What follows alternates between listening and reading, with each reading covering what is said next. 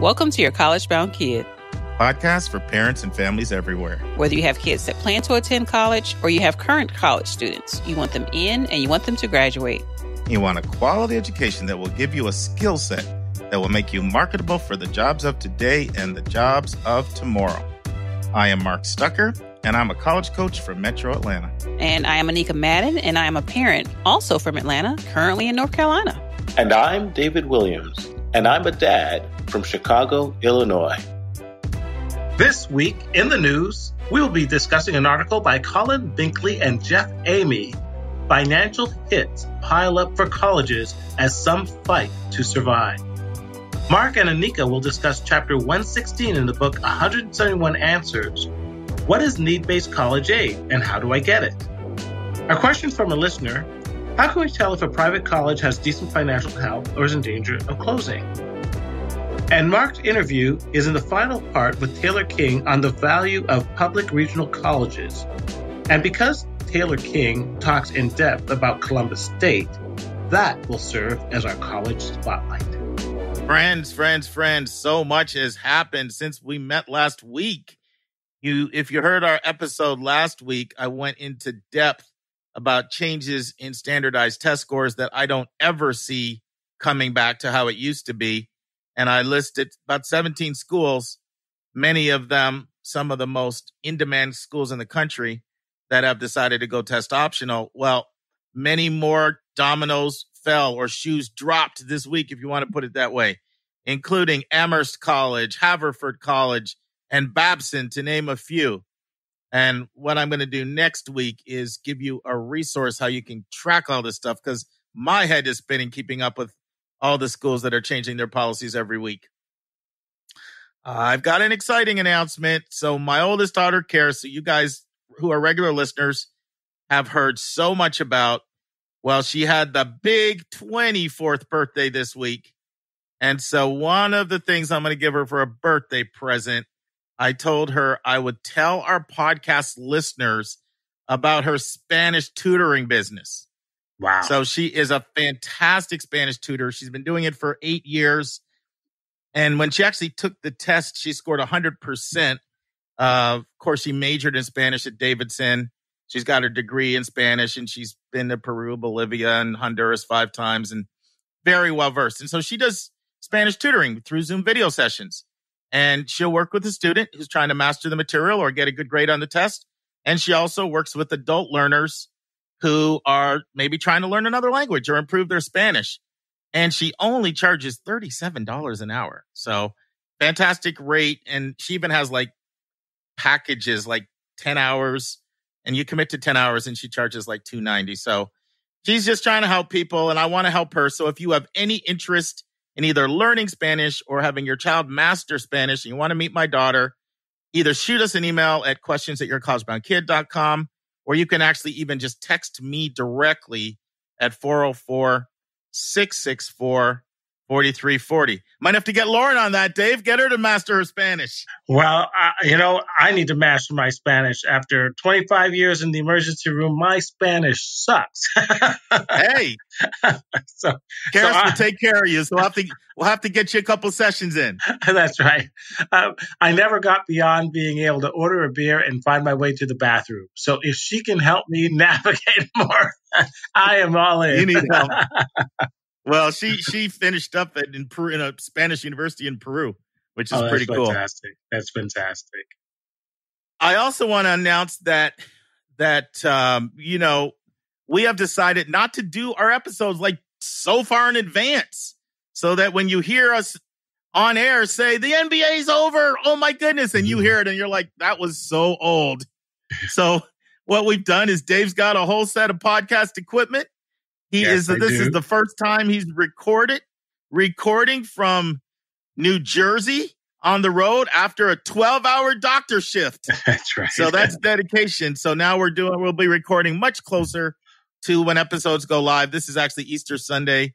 And so, uh, hopefully you'll appreciate getting fresh information from us. And speaking about Dave, Dave, you, you've yeah. transferred from Manchester into a totally all COVID world now. Give us an update on uh, what's going on with you in the emergency office and and, uh, and a COVID update because you're more than anybody else. You've seen it firsthand. Well, yes, I'm I'm now at uh, JFK Hospital in Edison, New Jersey. It's one of the hospitals that have been so severely hit by the coronavirus that it's almost exclusively COVID at this point in time. Uh, it's a hospital that has about 200 beds, and all 200 beds are currently uh, COVID related. Uh, it normally has about 24 ventilators and an ICU of 30. But at this point in time, we have of those 200 patients, about 160 that are critical and about 70 that are currently on ventilators. And so uh, I am one of uh, four doctors who actually manage the inpatient management of most of those critical patients. So it's been an interesting, somewhat stressful, but very enlightening week. So what what have you learned, Dave, about COVID now that you're really seeing it up firsthand that maybe you didn't know before? Well, you've now had almost four days there, so that's a good 48 yeah. hours of doing this. So what, what what would you say you've learned about the this particular, you know, health problem? It's very sobering the unfortunate thing that uh, once patients get on mechanical ventilation, life support, less than fewer than 10% get off. So 90% of the people who, in our our experience, get on mechanical ventilation uh, do not survive. So uh, unfortunately, it can take several weeks of them being on ventilation before they eventually expire. But it's also a very, very dehumanizing uh, disease because the problem is when people come in, either from home or from the nursing home, their family members are not allowed to accompany them. The hospital is on complete isolation lockdown. So these people are admitted, they go to their room, they're intubated, and they spend the rest of their time alone. So when they are in the next week, their family can't visit them, their pastor can't visit them, their rabbi can't visit them. When they finally pass away, there's no one to hold their hand, there's no one to support them, be with them, uh, to see them through the other side.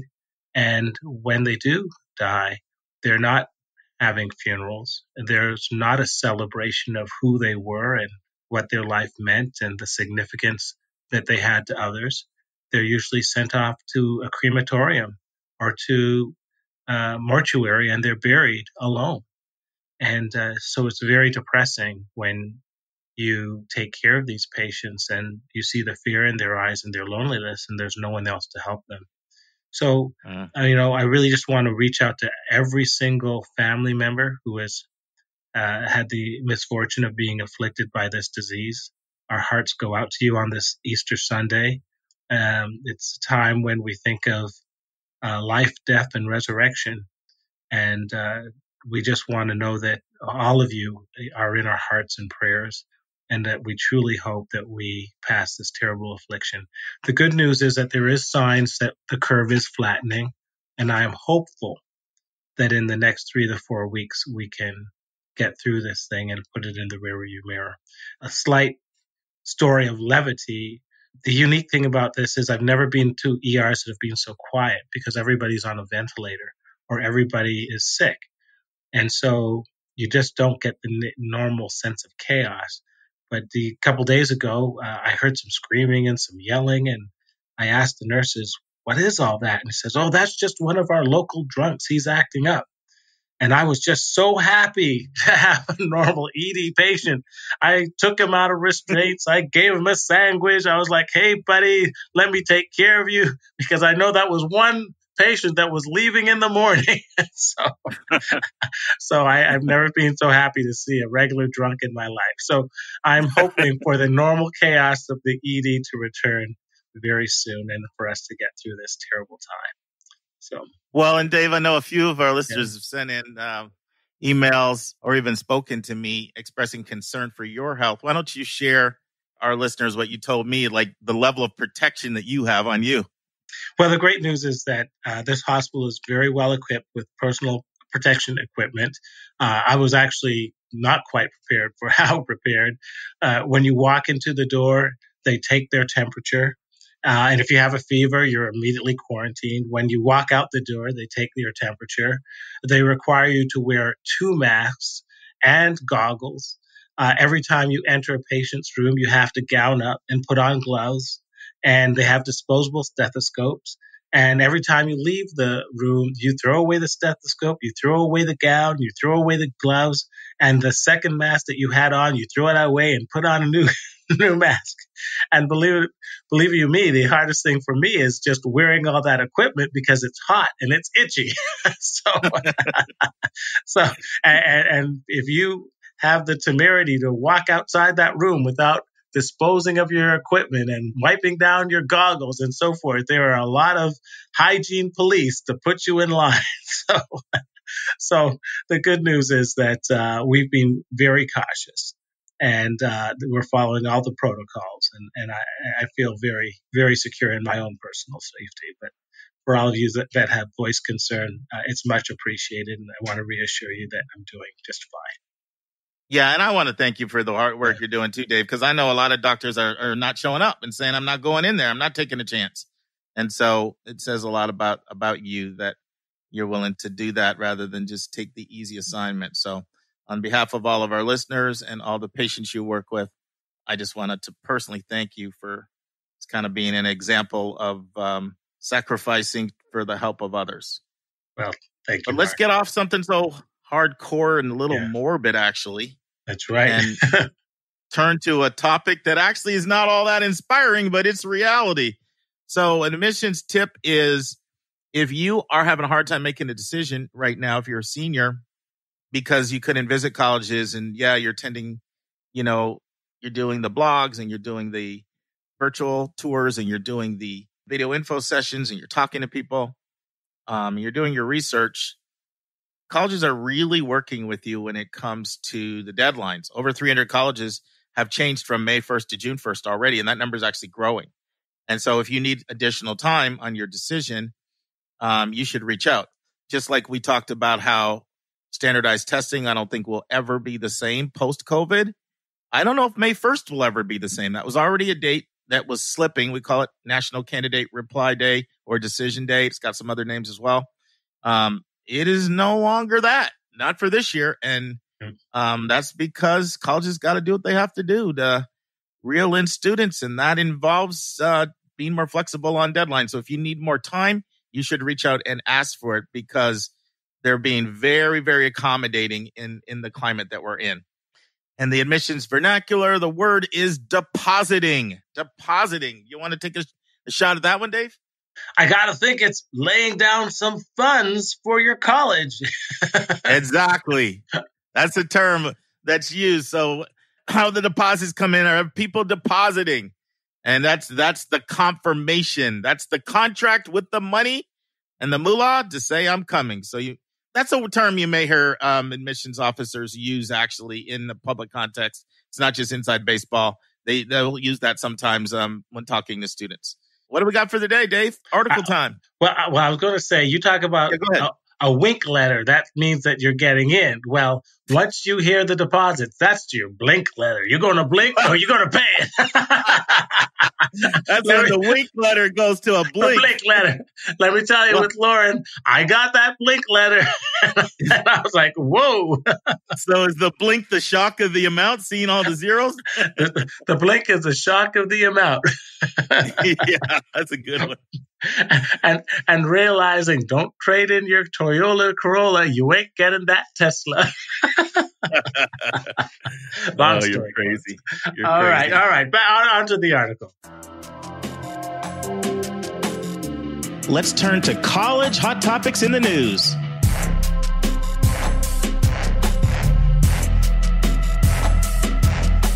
All right, the article for this week is Corona's outbreak could cause losses of more than 100 million at some colleges. And this is a great article. Uh, the bottom line it says that the colleges are going to take some seriously heavy hits between refunds for student housing and dining and parking, loss of athletic revenues, loss of value of their endowments. But we're going to take this point by point. So the first point of this article is that the biggest hit is that in the fall, many students won't return. And Mark, we've talked about this in a few podcasts. Uh, do you want to take it away and, and comment on this uh, huge risk? Well, the one thing I want to say is last week we focused on this because we focused on that study that was done of almost 500 students. And one of the things that was revealed in that study was that 16% of people who are planning on coming now are not planning on going in the fall. Yeah. But what I didn't mention last week is that that study was done in mid March. Right. That was like done in, uh, I want to say that came out around the 20, 22nd of March. And so they were in the field like the 15th to the 22nd in that time frame. I may be off a day or two, but that's pretty close. And so if anything, that may be even exacerbated now.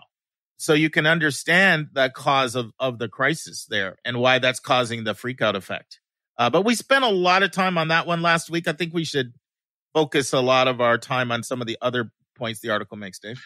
Okay. Well, the second, which was related, was that they're projecting a steep drop off in international students.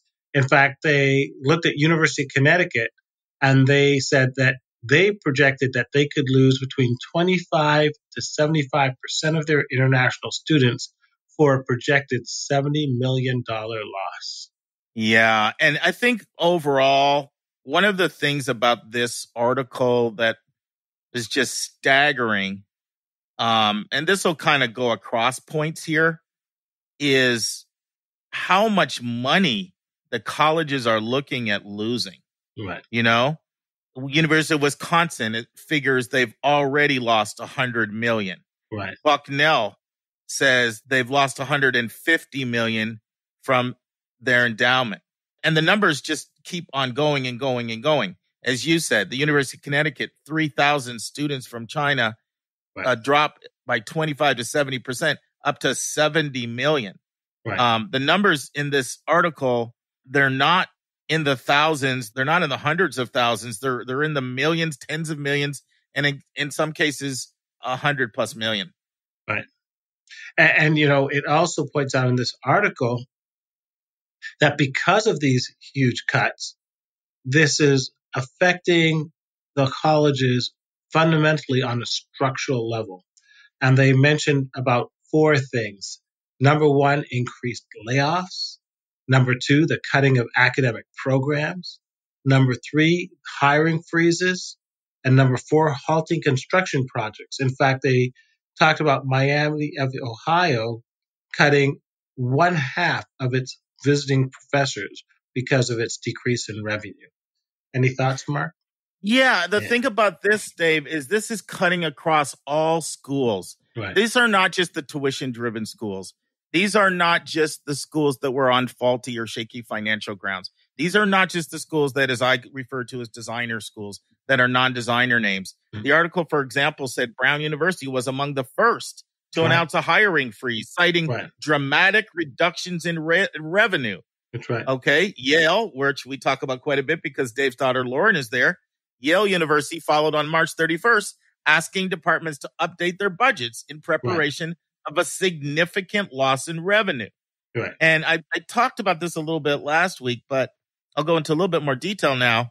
So, one of the things that happens sometimes when I'm talking to really highly selective schools and their financial aid offices is you realize that they have financial challenges too.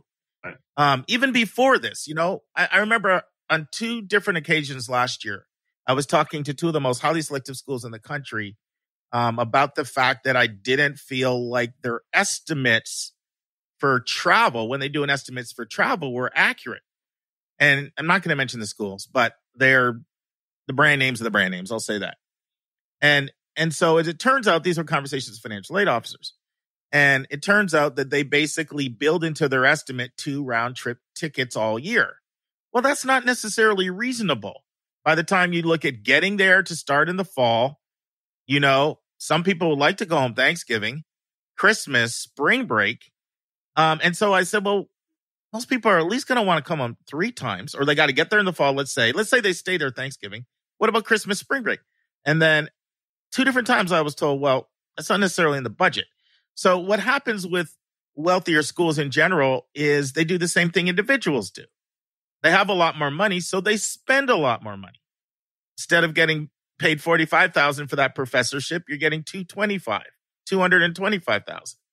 And it goes on and on and on and on and on, whether it's the uh, pension benefits for faculty, whether it's the health care, the dental care, whether it's the amount of money they spend to bring in speakers. It just goes on and on and on. And so they've factored their extra money into the offerings and services. And one of the biggest things you see it is in the faculty to student ratio. Right. Because remember, staff and faculty salaries and benefits is still the biggest line item. And so maybe there's a six to one ratio instead of a 15 to one ratio. So it's hitting everybody. What else you got, Dave? Well, you know, more on that line.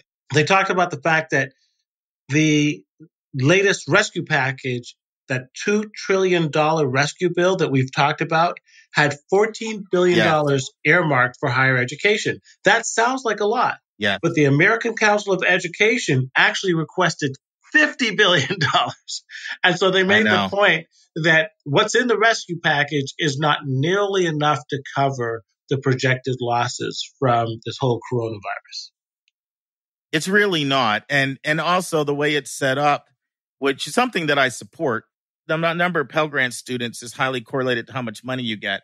Yeah. So by the time you break it down, each school is really not getting that much. Yeah. Um, that's been one of the disappointments to me has been how little talk or dollars have gone into funding institutions Right. from the rescue packages. Um, another thing the article talks about is um, that $3,700 check that you got back, Dave, because Yeah. Lauren isn't going to be on campus for the rest of the year. That's right. That completely caught colleges off guard. That's right. That was money that they had expected and already counted on having in their budget. Right. And if you're paying somebody back because they're not staying in the dorm, that's not actually an expense that the school was allocating, right? That's just That's right. pure profit.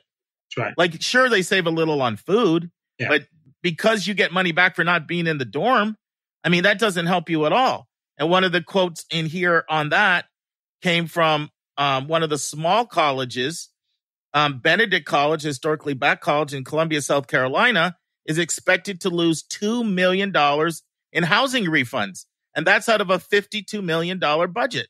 So that's literally 4% of their budget has to now be refunded that they didn't have planned.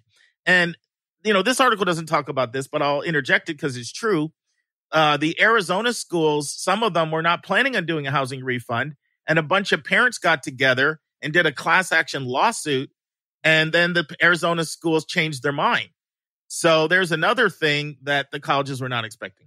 And to add to that even more, for those of us who own properties, we know that just because there's a vacancy doesn't mean the fixed costs of your building go down. Uh, I mean, they still Right. have to pay for the staff. Maybe they're being furloughed, maybe they're being laid off, but you're still paying for the upkeep of the buildings, the heat, the electric, the insurance. Uh, you still have to maintain the grounds. You still have to maintain some semblance of cafeteria uh, for the skeleton crew that remain. So the students being on campus represented almost pure profit to your bottom line. And that pure profit has totally vanished. Yeah, it's really true. And you know, Yeah. one of the quotes I liked from this article came from the president of San Jose State. If you're listening, forgive me if I s- pronounce your name wrong, but it looks like Papazian. And Yeah. so uh, Papazian has urged Congress to provide additional aid to help avoid damaging cuts. Right. It says her college is going to try to prevent layoffs, but it needs to do whatever it takes to survive. And then this is what Papazian, president of San Jose State, goes on to say in the article. It says, this is what we had in 2008, but many times worse. Right. Papazian was referring to the Great Recession in 08. The hurt is deeper this time, and the recovery period will be longer. And there will be many students who are lost or injured because of it. Right. So I know this is really dour topic, Dave, but we're trying to keep it real with everybody. You, know what? If we keep talking this way, I'm going to go back to my drunk that I met the other night and invite him to, the podcast. He was a lot more beer. fun. That's right. The drunk in the emergency office is better than the podcast. Man, he was he was the life of my week. Let me tell you something. well, let's finish up this article. the two pat last points was saying that number one, many colleges are not going to be able to meet their projected demand for financial aid. Bucknell is going to lose 150 million off its endowment, and that's just standard for many colleges. And that lastly, many colleges will close permanently. And they talked about MacMurray College in Illinois. And to follow up on Yep. that, in Crain Chicago Business, it talked about all the local regional colleges that may be closing in the Chicago area if they don't actually merge because they won't be able to survive as independent entities. So it just added more to what we know that this is truly a catastrophe on many levels. And you know, I think this is a good segue, Dave. I still am moved by John from California. We read Yeah. his letter last week. And in essence, the summary was I know you guys may think you're talking about COVID too much, but you almost can't talk about it too much. It seems like it's impacting everything. Hmm. And I realize you don't have a crystal ball. You don't know everything, but I respect your opinion. I'm sitting here trying to figure out whether to put a deposit in by May 1st or not. I'd like to know your opinion on whether or not you think colleges are going to be closed in the fall. And so uh-huh. I would like to honor that request and engage in a little bit of speculation. Dave, why don't you share your op- opinion and then I will share mine and we'll see if we agree or disagree. What do you think is going to happen in the fall? Well, here is the big conundrum with this coronavirus, and that is once we flatten this curve, will it reappear in the fall? And what we don't know is what level of herd immunity we have here in the system. The speculation is all over the place from studies that show that in Germany it may be as low as 15% to people in California that think it may be as high as 80%. Why does that matter? It matters because if in the fall we start congregating again and kids go back to school and this reappears and we have to go through a secondary shutdown, the first blow was one thing, but the, but the second blow could be absolutely fatal. So what's going to happen in the fall and what's going to be the solution? Well, the solution is a vaccine. But a vaccine we know is really at most optimistic a year away, maybe even more. Until we have a vaccine, we have no assurance that we are actually going to be safe once we back off the social distancing. So my daughter shared with me that one of her professors said that what's going around in the Ivies, and, and this is this is not verified, this is just what she said, is that they have a secondary plan that if they think that there's a chance of the virus recurring in the fall, that they are going to delay the opening of school until the spring and have the second year go through the spring and the summer and then merge into the third year. And my thought was I was totally against it. And uh, this differs from my wife. But I said, if that happens, then you just take a gap year. Number one, I'm just not going to pay $80,000 for you to take an online education, for it to be suddenly disrupted, and for have all the things that we expected to happen in terms of your extracurriculars and your research and the connections and the clubs be totally obliterated by this virus. It's just not worth it. I said it would be better for you just to stay home and take uh, classes at Columbia College in film or art or whatever, and then come back to Yale when this is all over, where you can get the full value of a Yale education. It's just not what I'm going to pay for. My wife has a different opinion, but that's my opinion. And the other thing I'm saying is that because if you think you're not going to be able to come back for the fall, there's no way you're going to be able to come back for the spring because the virus is still going to be there. We're not going to have a, a vaccine in the fall. We're not going to have it in the spring. So if that's your secondary plan, just tell us right now. And I'm not going to put down that deposit. You're going to live 70 years. If God grants life, you can take another year off and do something other than spend $80,000 and go to an online school. I don't care if it's an Ivy or not. So that's my opinion. So I'm not going to spend as much time speculating on sort of what I would do, but I want to venture more into the prediction land. And I, it makes sense to do it after this article.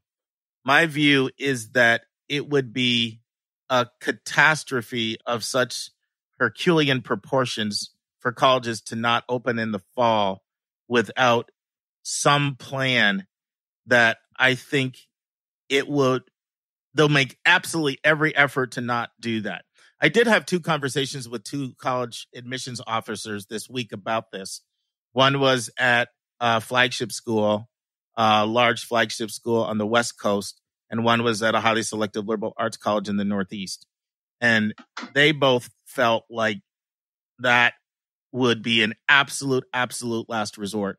And we're not even thinking about doing that at this time. What I think is more likely would be a delay, like you mentioned, and a number of safeguards that are put in place. So, constant temperature checking.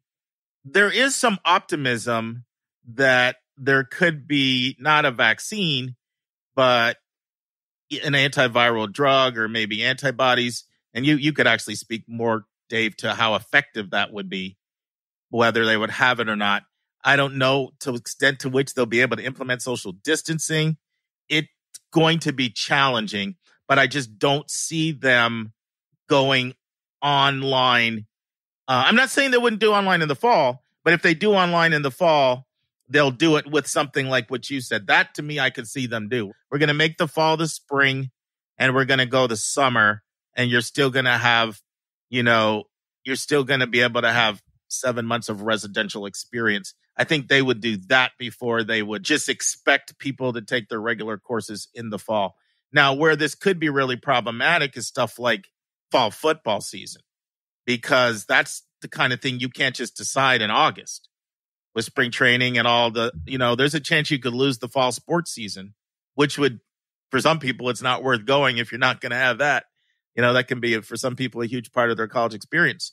So I could see that giving up. And one of the other things that's difficult about something like sports is you almost have to make those decisions conference by conference as opposed to individually, you know, deciding what you're going to do with your own academic calendar. So I, I remain an optimist that schools will resume in either in the fall or they'll push their calendar back. But I know that there are going to be all kinds of conditions put in place. Uh, I mentioned temperature checking. Who knows what other restrictions will be there? I also think there's going to be a whole insurance thing that's going to pop up because parents are going to be like, hey, I want insurance, some type of insurance to cover me because I don't want to pay all this for online. I don't know if the colleges are going to have to include that in their packages. I don't know if that's going to come from the external market, but I expect a whole insurance market to emerge where people feel like they're protected should an outbreak occur and they have to leave in the middle of the year. I certainly think that that's something that that we can expect. I mean, they're really in a bind. They're in a pickle, Dave. Right. They, they really, really, really have a quandary because if they come back and people start getting COVID, that has lawsuit written all over it. Yeah. Or if another outbreak occurs, but they just can't take that financial hit. That 16% that said they won't go can become 40 to 50%. And then they don't have a school or the school they have is so drastically different than what they have now. It's just a skeleton. And so I just think it's almost a non option. Um, they'll have to come up with another creative option other than online. It could be a delay. It could be a six week delay or it could be even a semester delay. But I don't see, oh, stay online in the fall, pay the money, and we'll decide later whether you're coming back in the spring. As a good friend of mine when I was in theological school was from Mississippi used to say, that dog won't hunt. Well, now, folks, preface it by me saying that it's been a stressful and quite a depressing week. so I'm probably feeling a little bit more pessimistic than I normally would. But let me just say that, kids, it's never been a better time, in my opinion, to take a gap year. Because the problem is we won't know any of this until November, December, January which is the traditional start of the flu season. And by that time, it's going to be too late. By that time, your deposits are already in and cashed. Your kids have already made their plans.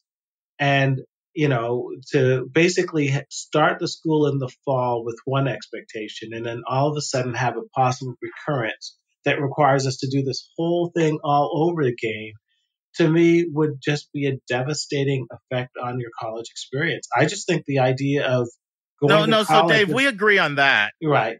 We agree on that. What I'm trying to address the question is will what are the chances that colleges open up in the fall or some delayed version where a student could still get uh, seven months of a residential education. Well, well, I, Uh, I that's think, what I'm. I, I think it's very. I, I think it's a very high probability that they will open because they have no financial choice. Okay, Uh, so the we va- agree. Yeah, so we the agree. va- basically, the vast majority of colleges, I'm talking about 80%, except for the the top 20. If they don't open, they go under. So I don't think there's going to be. So we choice. agree. Yeah, they have to open. The question is, is that despite their best plans and despite their best intentions, can they remain open if we have a recurrence of this pandemic? And I think that question is completely up in the air. I, I can tell you this, that the social distancing measures they have currently in place in China and Singapore are, are totally unworkable, unfeasible, or untenable right now in the United States. Currently in China, my understanding is that they have an app that goes on your phone and it's with a barcode. And that barcode basically color codes your phone green, yellow, or red. And they can literally track where every citizen goes with his phone, where they go, what they buy, who they call, who they meet. And if there's any question that there's a recurrence of a pandemic, they can then automatically trace those contacts and automatically turn everybody's phone in question red. And if that phone turns up red, that person will not be able to travel outside their house. They're not going to be able to buy anything. The government will know exactly what they are, what they're doing exactly, and have each individual on total lockdown. Now, that level of personal infringement on our freedoms, I think, is just not possible in this country. Alternatively, widespread testing, where we have the ability to test 80% of the population with not just uh, the test that shows if you have the virus, but if you actually have antibodies to protect it. That's months away from rollout, and the logistics of actually having to do that are highly speculative. And then you talk about the college experience themselves. These are kids that are supposed to be mingling. The, it's college is supposed to be the antithesis of social isolation. What are you going to do? Take temperature checks of kids every time they step out their dorms, every time they go onto an athletic field, every time they have a social event? It's just not workable. So I just see the colleges being sitting ducks for a recurrence of this pandemic in the absence of a virus. And if they say a virus is 18 months away, that automatically nukes out next year. So I, I think they're in a terrible predicament. But I am this. yeah, they are. But I think Yeah. it's Yeah. it's and I and that was really helpful that rendition, especially the explaining what the antibody Mhm. and the antiviral drug, what that actually would mean in practical terms. I agree with all the stuff you said about we Mhm. can't be like some of those countries, and I also agree social interaction and engagement is so much a part of the residential experience. But I think people can get really creative when the other option is you go under. I mean, another example is work, the stay at home thing. Okay. Do any of us think that we're going to be at home for the next 18 months? No, because the economy would so go under that there'll be conditional ways in which slowly over time there'll be some gradual rollout toward people going back just because we have to. Now, will another outbreak occur like you're saying? That very well could be the case. But we're gauging in much more conjecture than we ever have on the podcast before. But we were asked to share our opinions right. and we try to um, answer all the questions we get. So it looks like we're both of, to summarize. Well, before I summarize, I want to say something. One thing I absolutely would be doing if I'm in the process of trying to decide whether or not to pay to do, to do the depositing we talked about earlier and sign a contract, I would want it in writing that if you guys call off the fall semester, I'm granted a gap year. Because the one thing about gap years, they're not automatically given right. um, schools build into their financial model a certain number of gap years. right. So I'd be getting that in writing on the front end. If I have the view that I'm not going if it's online in the fall and you're pressing me for my money right now, I'm that's something I'm negotiating. Right. I'm negotiating that if it ends up being online school in the fall, that I'm given a I'm given a gap year and my deposit is refunded to me. And you have more leverage now than you've ever had. So- and Mark, I think that's a great that's a great idea. And and let me just say something about online education. Mhm. It's got its limits. I mean, my, my daughter is supposed to be taking lab courses. She's supposed to be doing lab in chemistry. She's supposed to be doing lab in physics. There's no way that she's doing lab in, they made some cockamamie a way that they could do some sort of project, but there's no substitute from actually being in a laboratory and doing experiments and doing uh, research, bench research. So those experiences were completely lost to her. So maybe you can do online if you're a liberal arts major, but if you're in the sciences, especially if you're in pre med, there's no way you can substitute organic chemistry and physical chemistry for an online experience. And the colleges know that. So I'm sorry, but my view about this right now is that unless I see some real progress on the vaccine, or unless I see some real evidence that the virus is going to be contained in the fall, you know, I'm really, really leaning towards a gap year. And, and the last thing I'm going to say is, you know, my daughter was supposed to be doing all this research at Yale and you know, the summers are such an important part of building up your resume if, if you want to go to med school or graduate school. That has been completely obliterated. So in its absence, she is looking at online courses at Columbia College in Chicago at DePaul. And the courses seem fine and they're much cheaper. And to be honest with you, they don't seem that much different online from what you're getting from the Ivies. So my point is, if you're now subjected to an online education, to me, it totally obliterates the difference between the so-called high level Ivy colleges and the rest. An online course is an online course.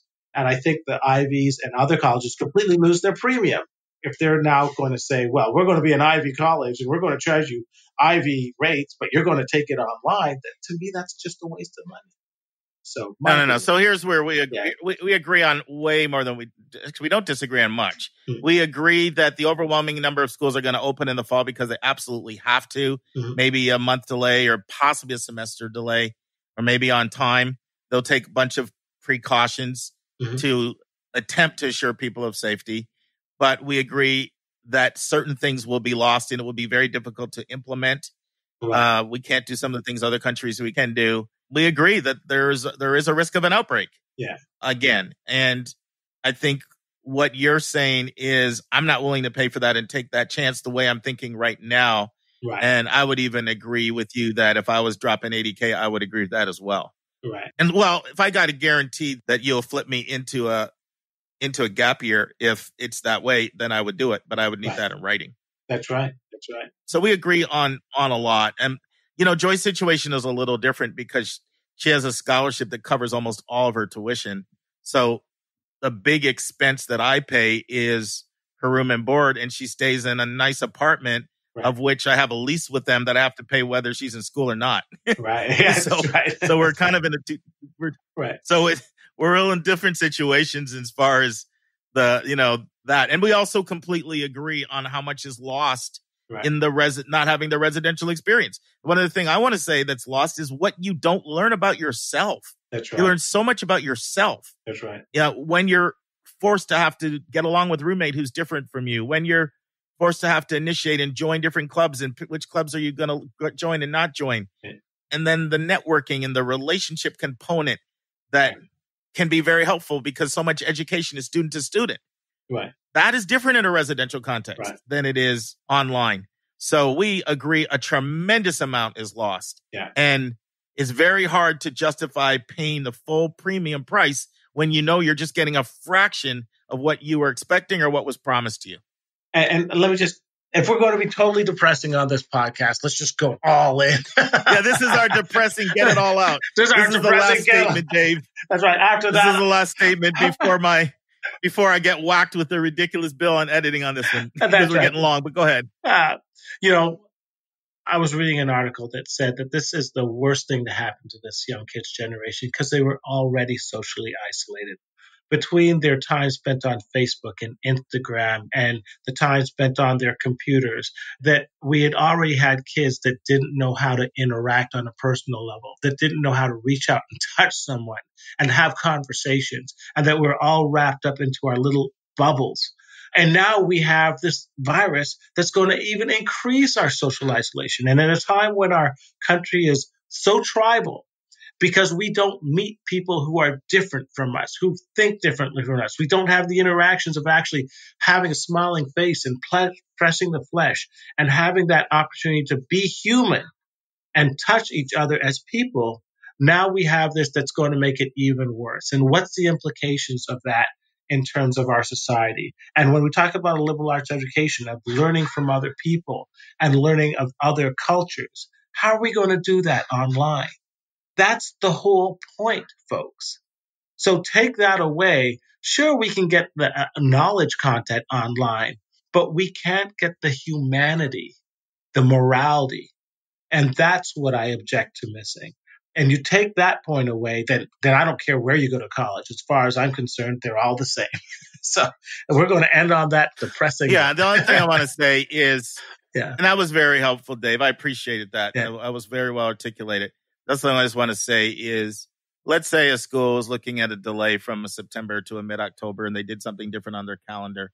That's six months from now, and a lot can happen in six months. Right. So I'm going to remain optimistic that within the next four to six months, um, enough progress was going to make be made so that um, students will be back in college in a residential setting in the Yeah. fall. I, I'm just going to be remain an optimist, and maybe it's because I'm partly in denial um, because I don't want to face what that would mean both for colleges and for students' experiences. But I really do believe that they'll do it. And I think they're just going to do it in a way where there's going to be a lot of changes. I mean, Right. and, and the same's going to happen for going back to the workforce, by the way, too. Yeah. You know, there are a lot of people that are going to end up going back to jobs that are in crowded situations. And there's just going to be, it's going to be different until we get the virus. Until, I keep saying the virus, the vaccine. the vaccine. Um, but I think that we're also going to see the same thing on the work front. Some people are going to go back. Now, people are going to be less likely to do things like go to Six Flags and hop on movie theaters and hop on planes and go to beaches and things like that. But people still will be returning to work in Yeah. context that there will be crowds to a certain extent. Like, I don't believe we're going to go 18 months without that happening. We're just going to have to figure out a way to make it work. So, anyway, let, we got our depressing podcast done. Let's Let's We do did. something uplifting next week, my friend. That's right. You know, poor Anika, she's going to listen to this and she's going to say, "What got into you, boy?" I know. She was already COVID 19 burned out. she is burned out. Okay, uh, Anika, before you listen to this podcast, remove all sharp implements from the room Yes. And all pills. and all pills. And no and no no alcohol around. Now, not that she's a drinker, but you know what we mean. That's right. Now it's time for our step by step walkthrough of the college admissions process.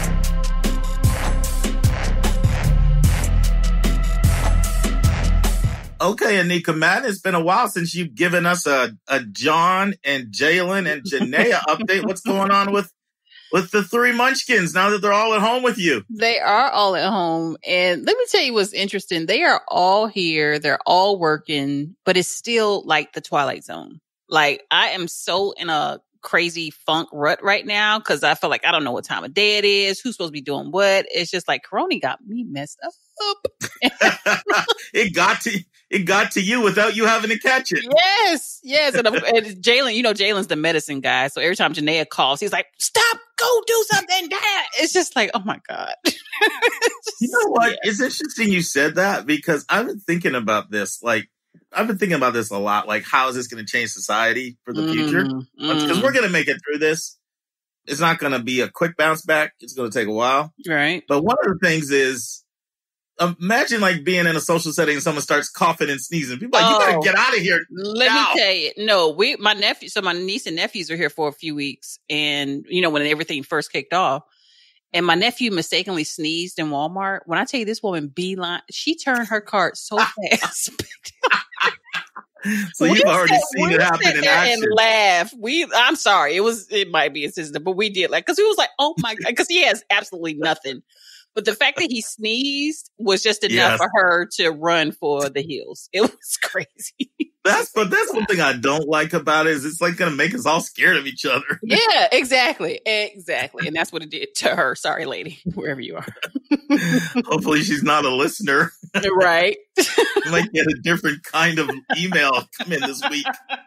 sorry. You I'm are sorry. so insensitive. You know, I was me you were talking about. He does not have the virus. Let me say that. He does not. Okay.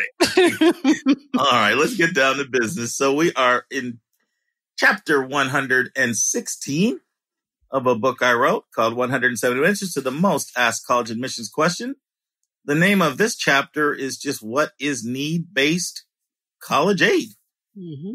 And it's kind of a two part series we're really doing on this topic because next week we're going to really delve into how do I get more need based aid. But today we're mostly focusing on what is need based financial aid. Anika, you read the chapter. What are your thoughts? I did. And, you know, we've talked about this between us so much, and probably on the podcast too. I can't remember. But it is money from the college that is given through an analysis of your family's resources. Basically, they have determined how much you can afford to pay based on their cost of attendance, and they're going to give you some money. Maybe not a lot, but some money. Does that sum it up a little bit? Um, a little bit. A couple things I would add is need based financial aid can come from the government, the state, or the college. It can come from any of three sources. Now, need based financial aid from the college itself is is where the bigger need based aid awards are. Normally, the state has limitations, but it depends on the state. I mean, there's some states are incredibly Mhm. generous. That that's all about politicians and what they pass through their legislation. The federal could be as much as ten thousand. That's a maximum per year. Um, in Hmm. rare, that's very rare that it's that much. Most students don't get any free federal need based aid, right? Um, so there are three sources, but I know and the institution can be where there are potentially really, really large amounts, but you have to qualify. Any questions at all you have for me after reading the chapter? Yeah, yeah. Well, I have a question on what you just said. You said Okay. free federal based aid. Is there such a thing as that? I thought federal aid was all like through loans. No. So you've heard of the Pell Grant. Yeah. Okay. talking- Okay. Yeah. Yeah. Yeah. yeah. I forgot about that. Okay. Yeah, that's a complete federal program. That's actually episode 118. So we'll delve into Okay. that in 118. Mhm. That's a huge program, like hundreds of millions of dollars. Um, Mhm. That program. We'll talk about that in episode 118. There's another Yeah. program where we're talking about that. Might even be the following week called FSEOG. Mhm. That's another federal need-based program. So there's some there's some need-based programs that are that are out. There. Yeah, it is 119. So 118 we'll be doing. I just had to do the little flip my pages through the book and check while I was online with you. I know our listeners gonna hear those pages ruffling. I knew you couldn't remember everything. Yep, exactly. exactly. You have people over here thinking I got some photographic memory, and I'm like shifting the book Uh, around. but don't get it twisted. He does. Because I know your brain by now.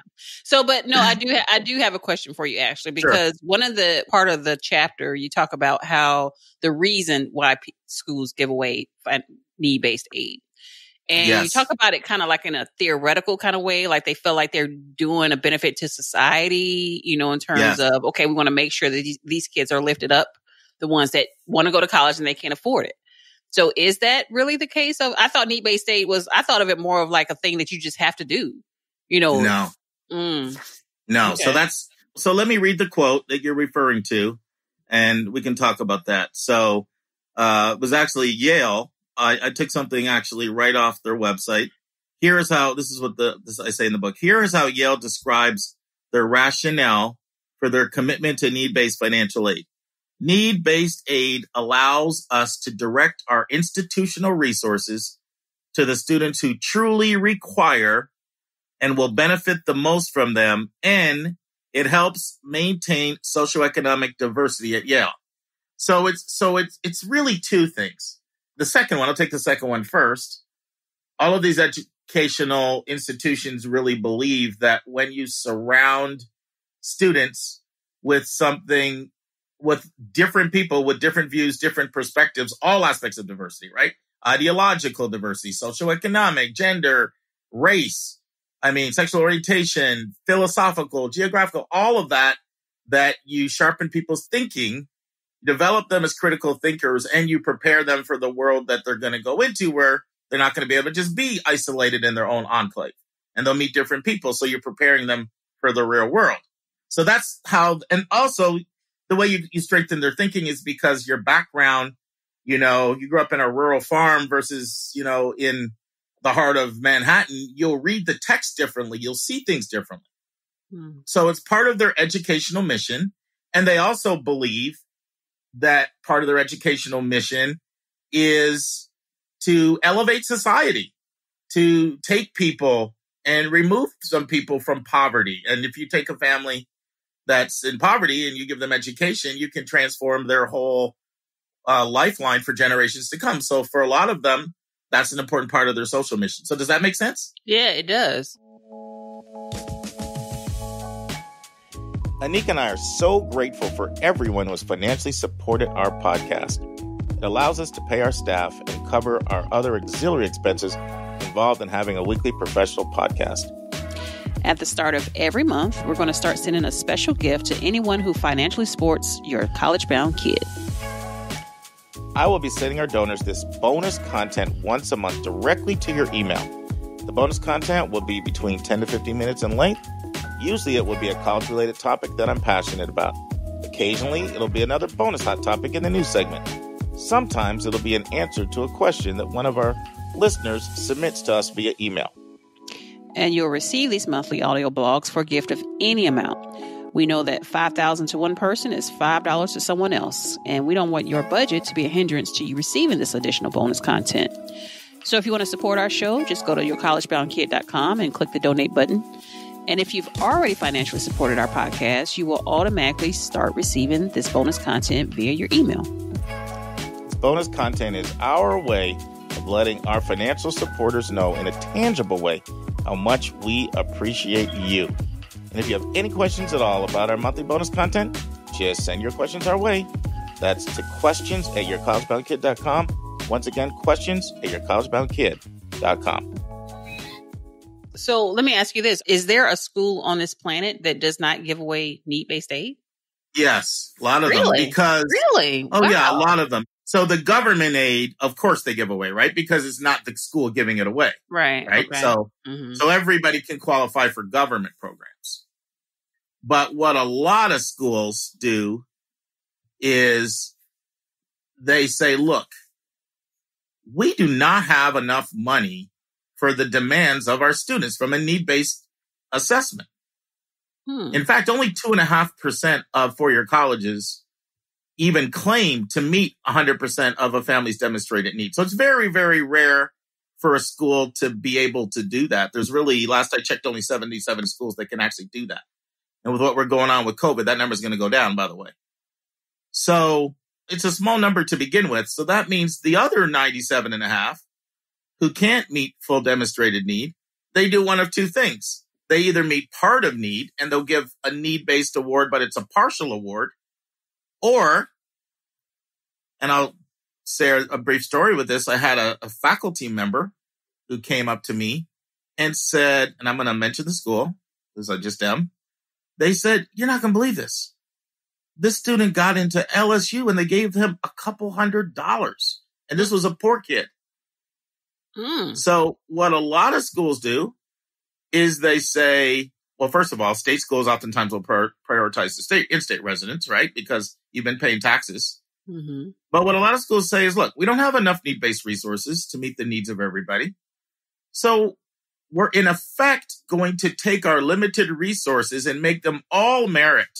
Mm. Because we don't want to lose out on the strongest kids who are applying. We don't have enough money for everybody. Wow. So let's give all of our resources that we're able to give away exclusively away to the strongest applicants to make our school stronger. That is very common.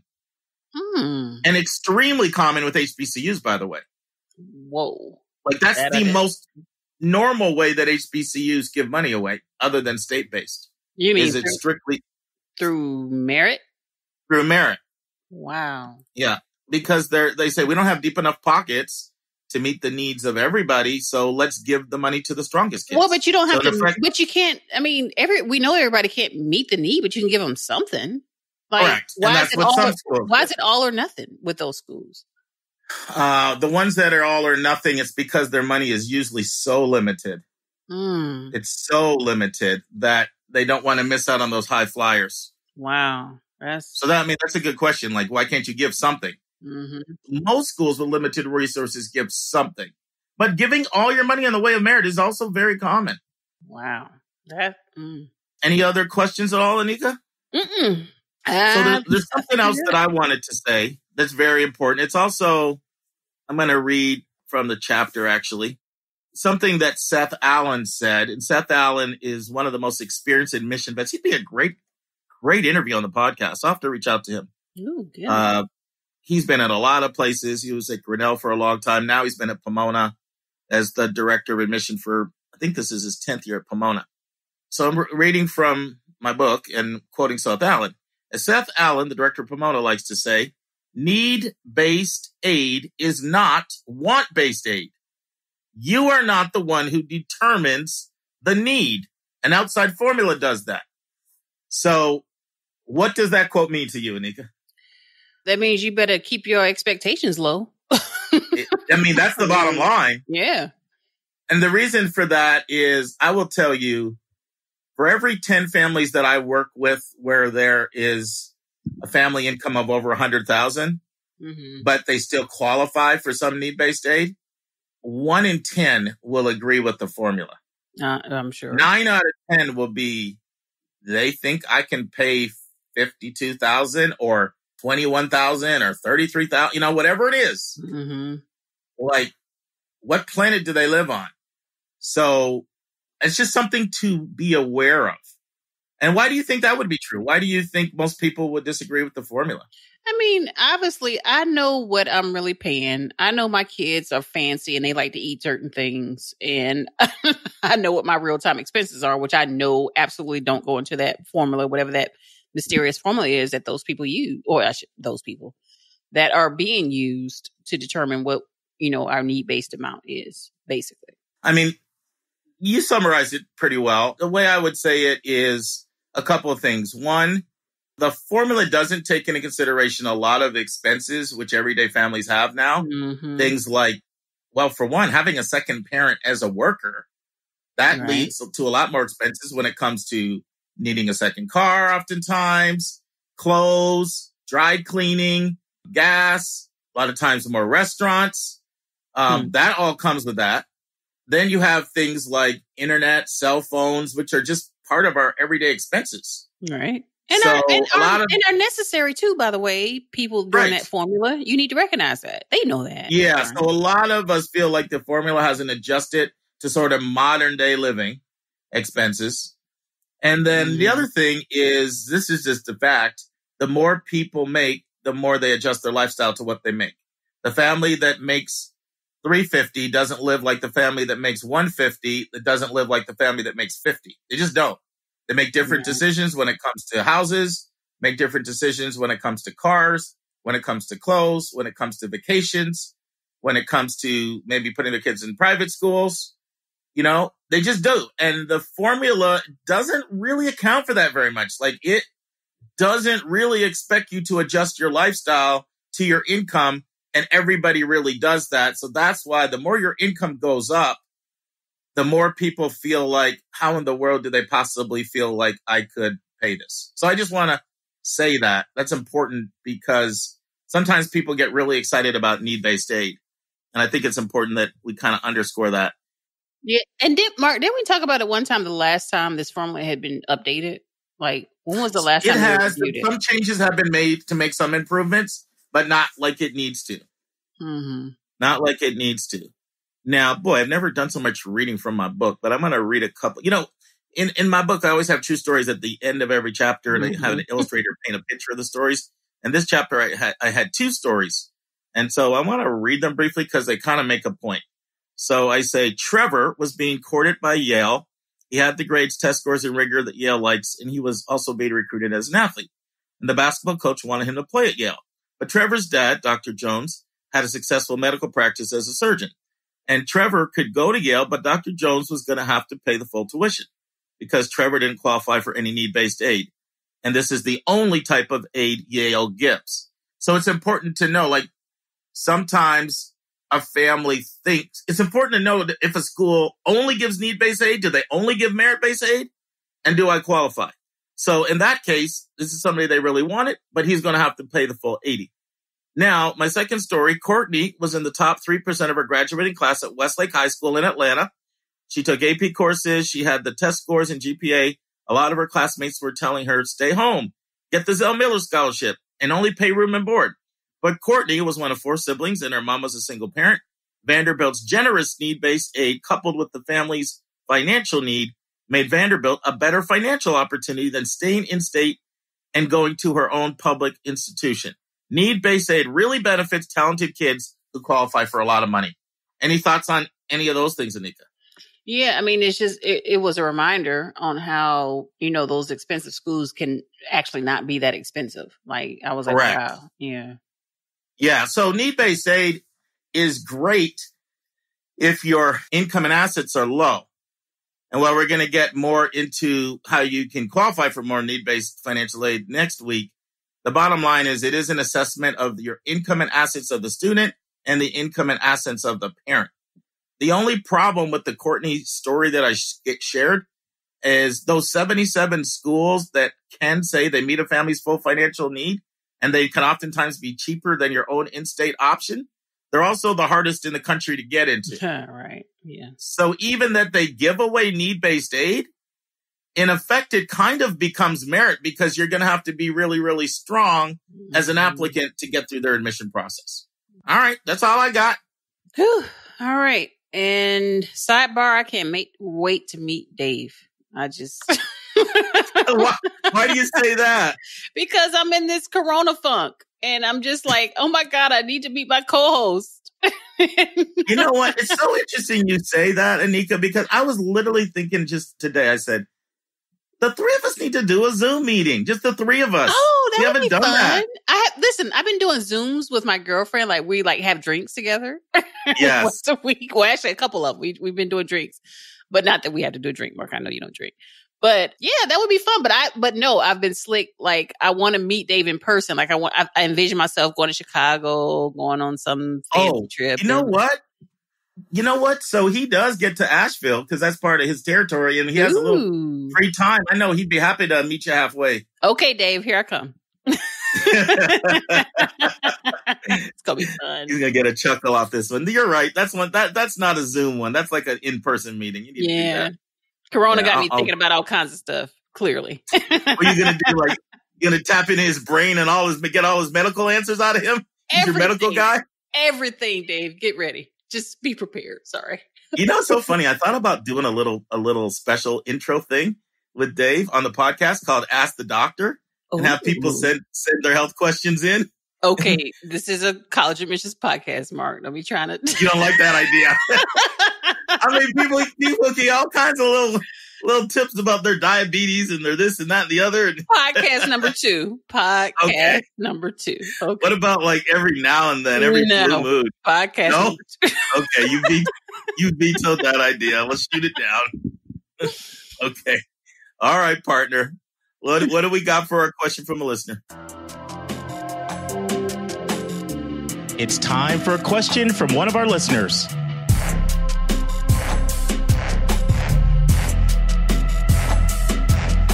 All right. This week's question is from Kim from NYC. Kim, God bless you. I know y'all are dealing with it up there. Good gracious. I just got my child out of there or in that area. Um, and I'm gonna she has some nice things to say, Mark. So I'm just gonna read her verbatim here. Um, it says, Hello, I love your podcast. It's a wealth of information. I recommend it to everyone I know who has have teenagers planning to attend college. We're a family who is unlikely to receive need-based financial aid. Yet, like many, we will not be able to pay full price for a private college. Therefore, we are very interested in schools that give merit aid. We've been advised to look at schools where our son's stats are in the top 25%. And many of these schools are ones that admit a high percentage of students and are less nationally known. So the question is, how can we tell if a private college has decent financial health? And where do we do our digging on the website and and common data set to get info on this? If that school offers good merit to a fair number of students, does that indicate that the financial health is at risk or good? All right, so so Kim had a lot in this question, but it's actually a question that quite a few people have set in in different forms. Mm-hmm. And it, you know, the way it's come in has been something like this. You guys have talked quite a few times that a number of colleges are going to close over the next, you know, 10, 15 years for a lot of different reasons. I don't want my child to go to one of these schools that's going to close. How can I know whether school's on shaky financial ground? So it's just come, we've had at least three, I think maybe four people send this question in. Now, Kim has so many good questions in here that we're going to take part of her question next week. Uh, but I do want to dive into a lot of it this week. Now, what I will say is this is going to be a very meaty answer with a lot of content. And so this is one of these times where if this is an important question to you personally, it's probably not one of those times where you're just going to be able to listen to this in your car while you're walking your dog, while you're doing your dishes and all the different ways people tell, tell me they listen to our podcast. You can do that. And I'm not discouraging that. But if you really want to know the answer to this, this is literally one you may have to go back and play a second time, or you want to sit down with your notepad and your pen out because I'm going to give you about eight or 10 different sources, which is quite a few. And, and so that's just a little hint, hint, hint, hint. All right. So fantastic question. So let's dive in and talk about some of the ways you can know whether a school is shaky, shaky or on stable financial ground when it comes to their their finances. Where do you get this information? First thing is it can vary from public to private a little bit. And um, while I know Kim specifically asked about private, I, I will briefly touch on some of the differences between both of them. One of the things you want to do when it comes to looking at this information is you want to look at trends over time. And so I recommend at least looking at the last three years. And some people that are even more fastidious than me may want to go back and do a five year search to look at trends. But at least the last three years is what I recommend looking at so you can see the picture. A single year just kind of really doesn't do it justice. Another thing that I want to say is be careful about looking just at budgets. Budgets are okay, but budgets are a plan. Uh, about the when you're looking at the optimal fiscal health of an institution, you really want to look at actual financial reports and especially the most recently completed financial reports. So don't get fooled by looking at a budget versus an actual financial report, and ideally an, an audited financial report. So where do you get these reports? So lots of sources here. One of the most fantastic sources is something that's produced by the U.S. Department of Education and we just refer to it because the name is so long as iPEDS. You ever remember me mentioning that, Anika? I've mentioned it once or twice on the podcast. Is that, is that- mm, no, I don't remember that. Oh, okay. So, so iPEDS is just an acronym, and it stands for the Integrated Post Secondary Education Data System. You see how everybody calls it iPEDS? Mm-hmm. that's too big of a mouthful. I'm not going to say it again.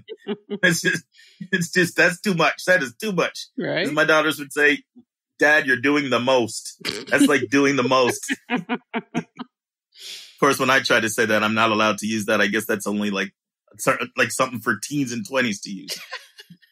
I said the other day, I said, Joy, you're doing the most. And she looked at me, really, Dad? You can't use that word. Come on. Like Joy. she has control over the words I Right, use. Joy. Are you supporting her? No, I meant like right. Like, are you crazy? No, support. Yes, you, thank you.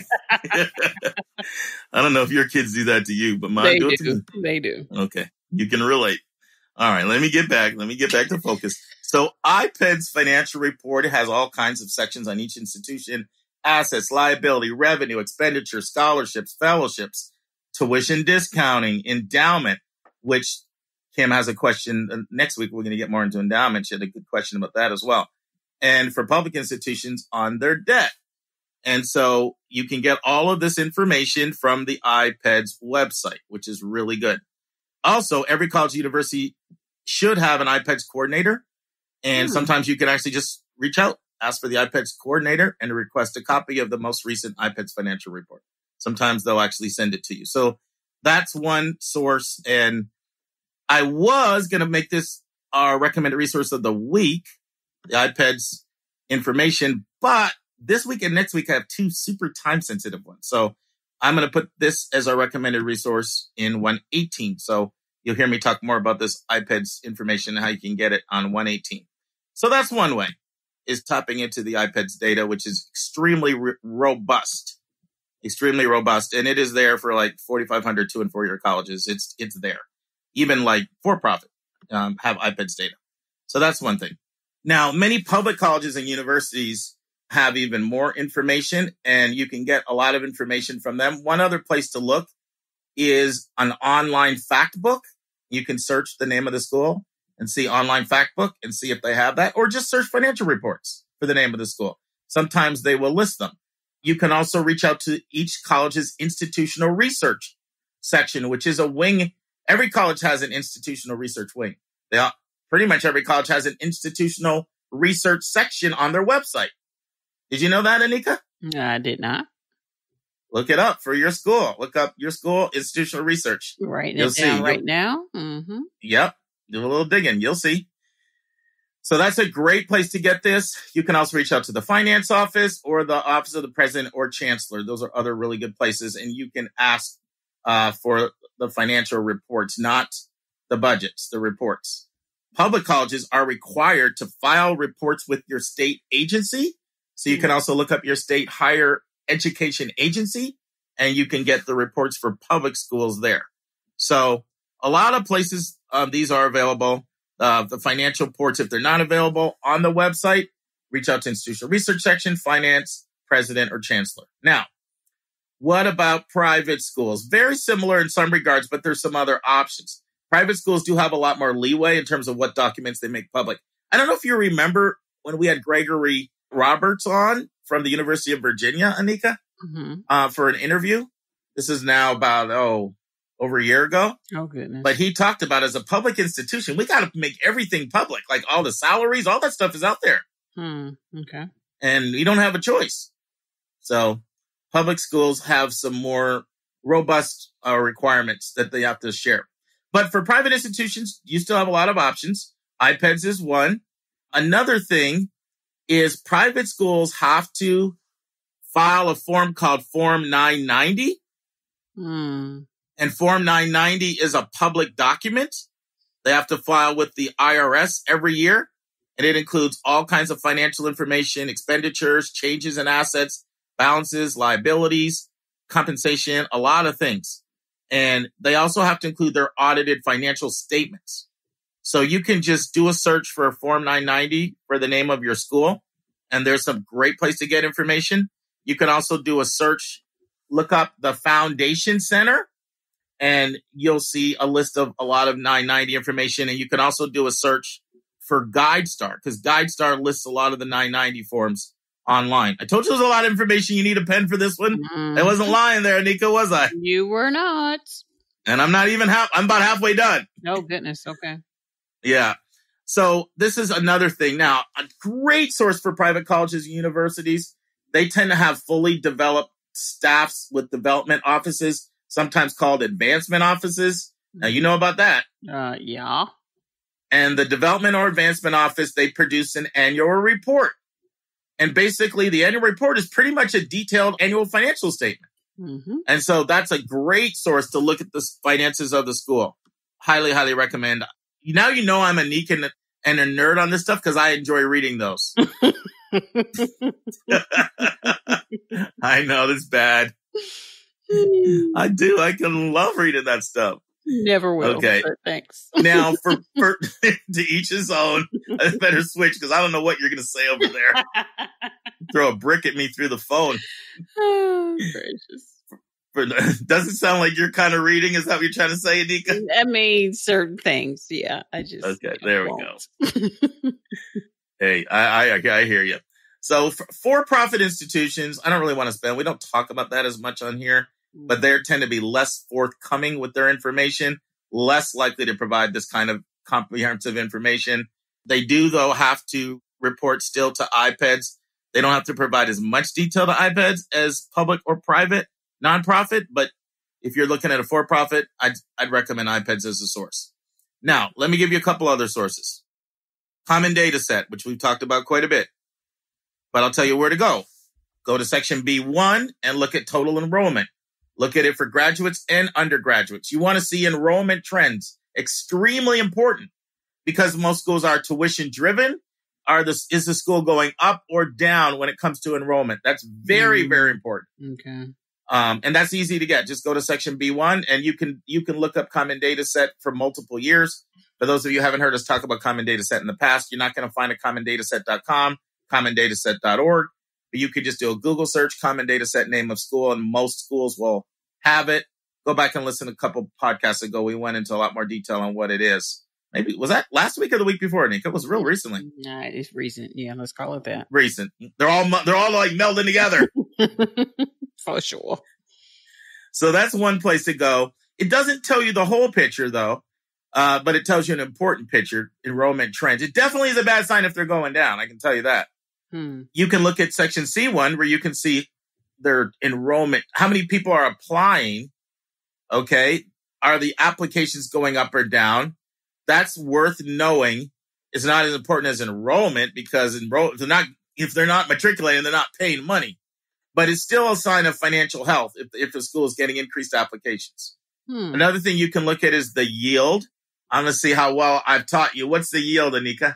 The number of students that have accepted and enrolled. The percentage of people that accept your offer. So the percentage Well, of people, No, no, no. Okay, wait, wait, wait. Offered, accepted, and enrolled. Like they're in there. correct. So the key point is it's a percentage, right? Yield is a Mhm. percentage. It lets Right. you know if you put 100 offers, admission offers, how many people enroll in your school and say yes.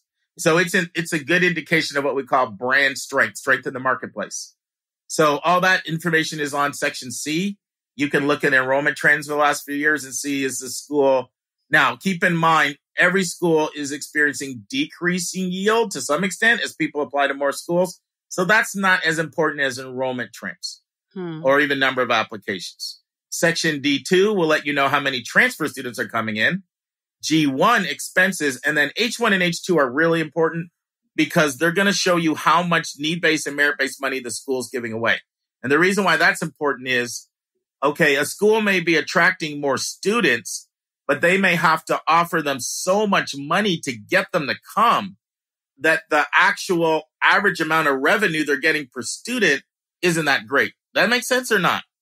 I think so. All right. So let's say, for example, you, ha- I'll use a concrete example, which I think will help because I feel like I'm being a little theoretical here. hmm So let's say you have a school and let's say you typically, let's say your school has, I'll just say its school has 10,000 students. Mm-hmm. Okay.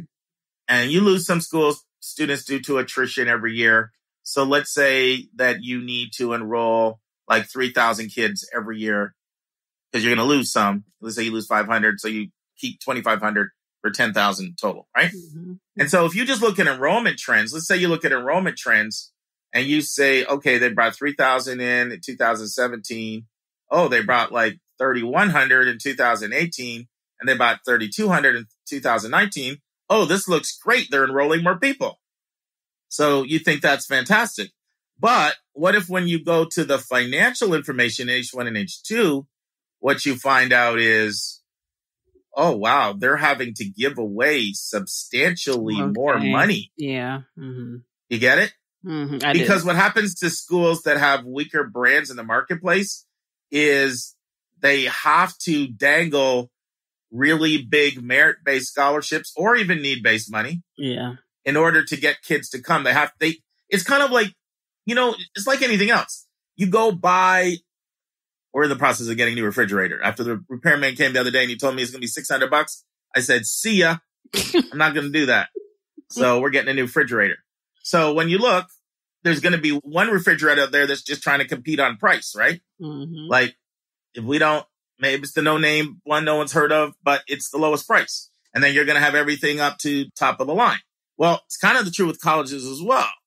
So some colleges, the only way they really can attract people is by saying we're like, you know, the most affordable.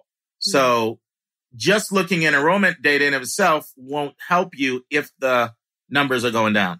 Mm-hmm. And if the amount of revenue per student is going down, down, down, down, down, then you can be in financial trouble. Does that make sense or not, Anika? It does, but at the same time, just to your point about okay, just because they're enrolling people doesn't mean that they're not in a financial crisis. So you still have to compare, like with the if you're looking at enrollment data alone, you still have to almost always go to the financial data Correct. And that's the point I'm making. Exactly. Okay. All right. Now I'm going to give you another source, and this will be my last source for the day. This is what I was going to talk about last week for my bonus section in 115. Remember, Nika, I said I was going to do a whole series on Moody's ratings, Standard and Poor's ratings, but then so much incredible changes happened with standardized testing. I called an audible and did one on, on how COVID is transforming standardized testing, and I changed it. Mhm, mhm. But Moody's is um, it's a fantastic source. Um, so is Standard and Poor's, but Moody's is the leader. And what Moody's does is it ranks schools according to their financial stability. Hmm. Because what happens is colleges um, have to take out loans a lot of times in order for their big building projects. In order to take loans, just like an individual, if you need a loan, what's your interest rate? What interest rate you get is going to depend on your credit. So what Moody's does is they study all this stuff. They study all of this stuff in order to ascertain whether or not a school is a good credit risk. Hmm. So they have all of these categories. Let me just pause for a second, Nika. I thought I had something here in my notes that I don't. I'm gonna have to find it. and then I'm I'm pretty much done after this, by the way. Okay. It's like my last thing because I I know I'm getting really into the weeds. hmm But I mean, for somebody who wants to know this information, this is kind of all the in the weeds you need to get. Oh, it's good weeds. Okay, good. it's good weeds. Yeah, it's good weeds. I like, I'm gonna keep that quote. It's good weeds. you can be so It's funny sometimes. There is a difference. I promise. Between bad weeds and good weeds, yes. you're funny.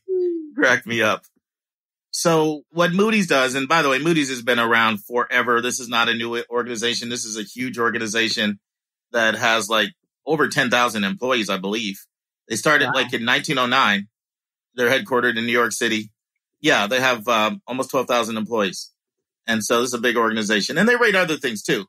But like I say, Moody's, Standards and Poor's and the Fitch group, those are considered the big three credit rating, credit raters out there. And so what's nice is if you don't want to do all the stuff that I said, read financial statements and things like that, it's really easy to go to Moody's and see what they think of the riskiness of the colleges because they have a whole division that just ranks colleges. hmm And what they do is they start out with what they call colleges that are investment grade. And and they have ratings of AAA or AA1. And this is like the highest quality rating, very, very low credit risks. And it goes all the way down to A1, AA1, A2, A3. Then you get into the Bs, like medium grade risk, some speculative elements, but moderate risk. And then you get into what they call speculative grade. And now we're talking about judged to have certain speculative items and represent a credit risk. And this is important because if a school wants to build a new building project, they need a couple hundred million dollars. They have to get a loan and the Moody's ratings will impact the, the loan rate that they'll get.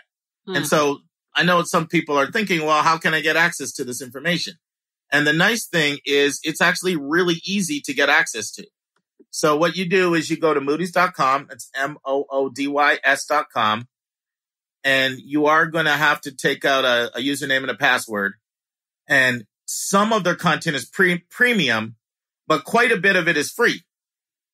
And so, you know what I'm going to do? I'm going to do this really quickly and then, but I'm going to look up one school really quickly on Moody's and I'll show you what it says.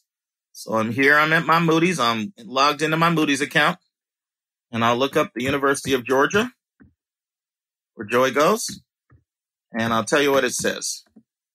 Do a live lookup on the line. It's really easy. Just go to moodys.com, take out a username, password, and then there's a big search bar in the middle. Put in any college you're interested in, hit search, and right away it'll pop up. And here's the University of Georgia, popped up right away. And they have a high rating. So they are rated AA2, which is a very high rating. And then, of course, it provides details. University of Georgia is the flagship land grant institution. It goes on and on about that. And then here's what it says. I'll, I'll read you a little bit more about the credit analysis. Uh, this was done on November 15, 2019. So pretty recent. And it basically goes on. I'll just summarize it. It talks about over $200 million loan that's been taken, but the excellent support from the state itself and given growing enrollment trends, and it gives the statistics and high demand in the marketplace makes it a highly rated institution. So if you don't want to feel like doing all this stuff, you can just go right to Moody's and read the review. So, Mark, all right, I said a lot there. But, but, but, but, wait, wait, wait. So on a Moody's review, when do we know that we need to be concerned? Is it a B? Is it a B minus or BAA or B1, whatever? Yeah.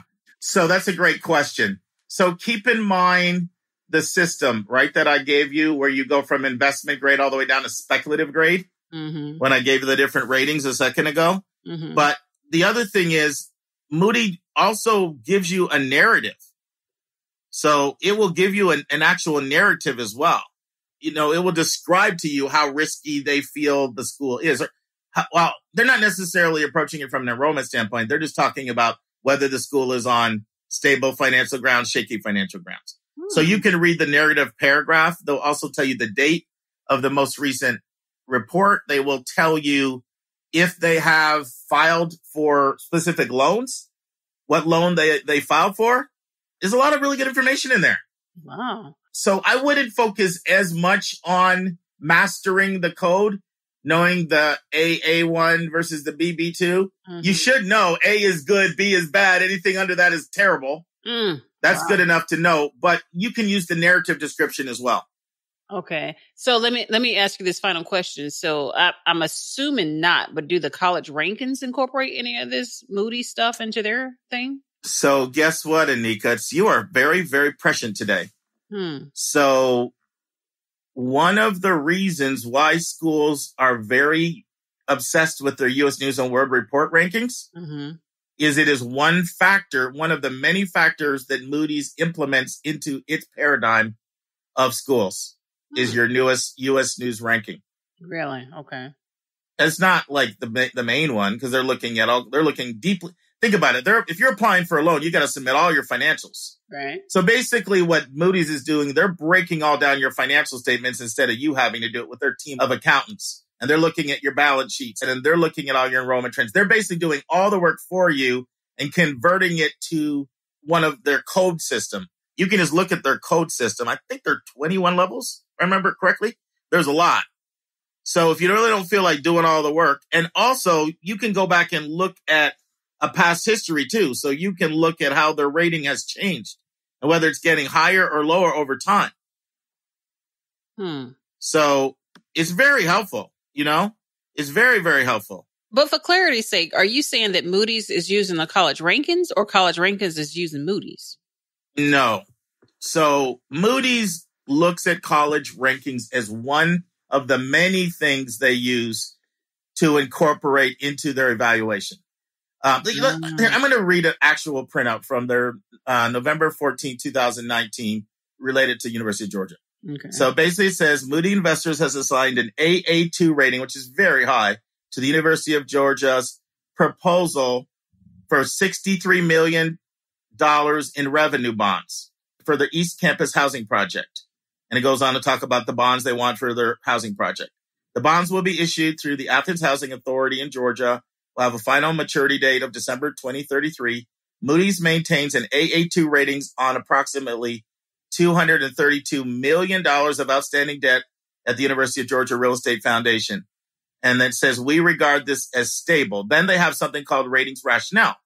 And it says the A2 rating incorporates the University of Georgia's excellent strategic positioning demand as Georgia's flagship public university with strong student and broad geographic appeal.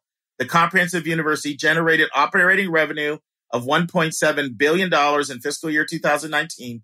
This is up from 6% from the prior year. So if you don't want to go look at past trends and all that, they'll have a little summary here for you. Okay. Then they say the rating also acknowledges the university's low financial leverage with preliminary fiscal 2019 total debt of 364 million for the university. Other strengths include healthy state funding from the AAA rated state of Georgia, close alignment with strategic priorities of the Board of Regents from the University of System of Georgia, which governs the university, prospects for ongoing growth of wealth aided by strong uh, fundraising and support credit quality. These strengths are tempered by limited unrestricted liquidity and the fact that the lease revenue bonds are subject to renewal and abatement risk. And then it says, what is the ratings outlook? The stable outlook reflects expectations that the University of Georgia will maintain sound operating performance and strong debt service coverage and that suspendable cash and investments will demonstrate growth for the future. So that's and then it goes on to say what would it take to be a downgrade? What would it take to be an upgrade? It has so it's really good. Now that's one that was positive, but if I looked up one that I mean was negative, it would throw them under the bus. You can look it up. It's really this is really easy. Just moody's.com and then username password and then big search bar in the middle, look up the school and sometimes you'll see a lock beside it because mm-hmm. you'll see a bunch of articles. And if it has a lock beside it, like, you know, just looks like a little paddle lock, then that means that it is premium information. Mm. You know, and if it's premium information, then you got to pay. I don't have a paid account personally. Mm. You know, I find I can get enough information off of the um, the free account to get what I need, but maybe you want to dive in the, into the paid account. I don't even know what they charge. I, I, I haven't even looked it up. I've always been able to find enough articles off of the free account that I can get what I want. Okay. So what, what are your thoughts, Nika? That was some good stuff. Dog on it. Um, I think so. I think we did it. I think you did it. Excuse me. I mean, it was very technical. And I'm sure like if this might board some people, but I think if mm this is a question that's important to you, no, and I do think it's a very important right now because this COVID world is wrecking havoc on colleges' finances. Ooh. So the timing of Kim's the timing of Kim's question right. could not be more apropos, you know? So, and I hate to, I hate to stretch this out, Mark. I know you got to go and I got to go, but in terms of when the, the, impact of COVID, when would we look at Moody's or whatever, all these other resources? How often is the data updated is what I'm trying yeah. to say. Yeah. So the financial reports, you always want to be looking at the current ones and looking at the last couple, right? So mm-hmm. like as soon as the 2020 stuff comes out, you want to be comparing that to the 19. Right. trying to get the most the most current annual report. So is 20 coming out like January 1, January 5th? Like is that how 21 is that how that works? I mean, if it's colleges, they produce them at different times than when they go online. If you're doing mm. it that way, I don't know um, what month iPEDS has its new updated information, but uh, you get you got me on that one, and you could just have to keep checking and look and see if you're getting 20 data or 19 data. Gotcha. Can't tell you the month they all come out. Okay. All right. Good luck, Kim. Good luck, everybody who said everybody. that question. We've had at least everybody. at least three, if not four, people have said, "You guys are scaring me." Because Dave and I talked quite a bit about how the colleges that are going to be closing, mm-hmm. and so it's starting to scare people. Like, hey, am I about to enroll in, the, in a school that's going to close? Mm-hmm. Or even if it doesn't close, it stays around, but it it's so cash strapped that they're shutting down departments, freezing salaries, you know, laying off people that's stuff people want to know too. Yeah. Please be scared. You should be. Yeah, this is one of those cases where it's a little good buyer beware. It's good to, I'd rather have a healthy fear and make you probe than get there. And maybe your school doesn't close, but if all the classes you want to get, you can't get because they had to lay off all the professors right. out of the, or even gut a whole department. Whew. That's the kind of stuff that you'd like. I'd rather everybody know that going in on the front end, you know? Mm, good stuff, Mark.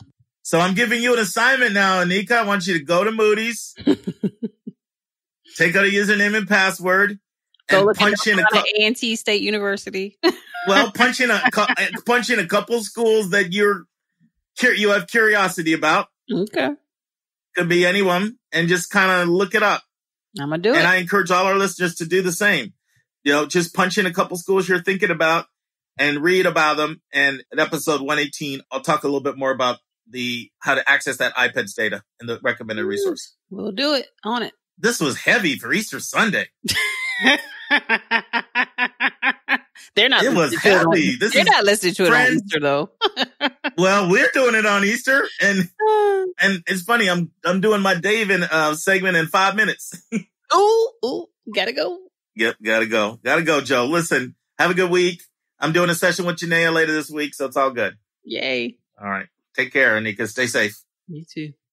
Okay, friends, as we transition to the final segment of my interview with Taylor King, he continues to talk about using Columbus State as an example of a regional public.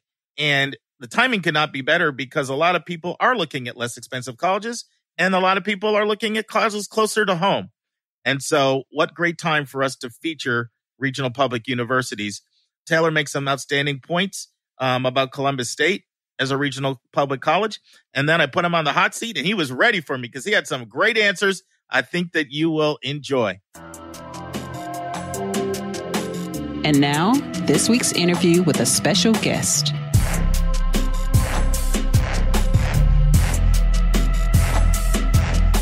Now, I know you have an honors college. Was the process that you described uh, the same process for admittance to the honors college, or is that a separate process? And if, if it's separate, what's the application process like for the honors college, and what would be the benefits to being in the honors college? It's the exact same process. Okay. Okay. And are there any benefits that are incurred by the attendee or recipient of an honors college um, slot at your school? besides the finances? Right. So some of the benefits are going to be, you know, not just the the opportunity to have say that you went to an honors college, but priority registration, which is a really big deal. Um, our honors college students are able to participate in some zero credit hour courses, and so while they may not be getting credit, they're learning to do things in a much different way. And so they're taking these really fun experiential learning type courses that that our honors college students absolutely love. So they'll take popular subjects and turn them into classes. So, for instance, they've done Mythbusters and they've done some of the other really popular television shows, CSI type stuff, and just done that as activities for our students. There really is a, a great community of honors college students on our campus. So there's honors college housing, opportunities to go on trips with one another, not just in the local area, but across the Southeast as well. And so our honors college really um, takes care of their students, and it's more than just a program. It really is a way for them to connect with one another because so many are coming from different parts of the state and different parts of the country. So, Taylor, what would you say to the person that says, like, why do you not want to know what my extracurriculars are? Or why do you not want to see essays, you know, from me or see teacher recommendations? How are you able to make a decision without that kind of information in the file? What would be your answer to that? My answer to that is that that's a state mandated uh, requirement for us. And so, mm-hmm. Of the 26 public colleges and universities in Georgia, there are just a few that use a holistic review, whereas most of us is going to be just GPA and test score based. Um, and so, it's a much simpler process. We do we're rolling admission, and so we can go ahead and cut out you know the application decision dates. We get you a decision as soon as we process your information. Um, and so, with just having that GPA and test score requirement, there's not a whole lot of application review. We can go ahead and make, get that decision out to students. A lot of re- public regionals have an access mission or a mission for admitting students in their local area that may be a little bit lesser than their traditional admission requirements. We have that as well. And so we want to educate the people in our area. We want to get them a college degree. And by having all those hoops for them to jump through, we would be unable to admit some of the students that really in our area need to be in our need to be educated and need to be in our workforce. That makes a lot of sense. It does. Now for your honors college, the fact that you're interviewing, does that mean you're factoring a few other things into consideration? It does. It, it does. So we do that is more of a holistic review. So there are essays and recommendation letters required for the honors college, as well as that that interview that you would be required to do as well. And so for out of state students, I, I, know I said you need to come to campus and do that. For some of our out of state students, you know, where travel may be prohibitive, uh, we do allow that to be videoed and like live streamed as well. That's great. And another thing that I want you to to share, uh, Taylor, is your your timeline. Like I know you mentioned you're rolling admissions, and you'll get a decision out really quickly if someone applies in the fall. But you know, there are a lot of families that you know, maybe this whole coronavirus has impacted their earnings and their income and they're looking for a real bargain. Um, I know st- there's families I talk to that have told me they've had to change how much they can afford to pay for college. And so there's an opportunity for a 2020 student who's hearing this, you know, in the spring to still attend a Columbus for the fall. Why don't you talk about sort of your your timeline on the backside yeah. as well? So yeah, we'll, we'll start at the very beginning. So our application typically opens up August one. If a student applies August 1st and gets us their application, their transcript, and their test scores, I've seen students who have been admitted by the third. So we can turn around wow. that quickly. As we progress further along through the semester and into the spring, it does take a little bit longer because we are just processing more and more documents. Students will get decisions from other colleges that are not necessarily the decisions that they want. And so they'll look at us and say, hey, you know, your application's still available. So our application deadline is June the 30th. Um, this year with spring of 20, with fall of 2020 students, we're going to extend that um, just because of what's going on with coronavirus. And so we're going to, we don't know what that final application date is going to be, but we're looking at sometime in July. With that, our application, require, our admission requirements have changed because of coronavirus. So the state of Georgia, for all the public universities that are not holistic review, they have changed our admission requirements for summer 2020 and fall 2020 students. Uh, so for us, there is no SAT or ACT requirement for students that are coming in for summer 2020 or fall 2020. And the state of Georgia has actually lowered all of our GPA requirements as well. And that's across the university system. Uh, so ours now is around a 2.2. And so students that are look, you know, it's a core GPA. So for students that are, you know, looking at a last second option or looking, you know, elsewhere, looking to save money, we have a very streamlined, very simple process now. It's just the application, the application fee and your high school transcript, and we can get you a decision, but just based on those items. This is fantastic. Um, I really appreciate this overview. It's really been great.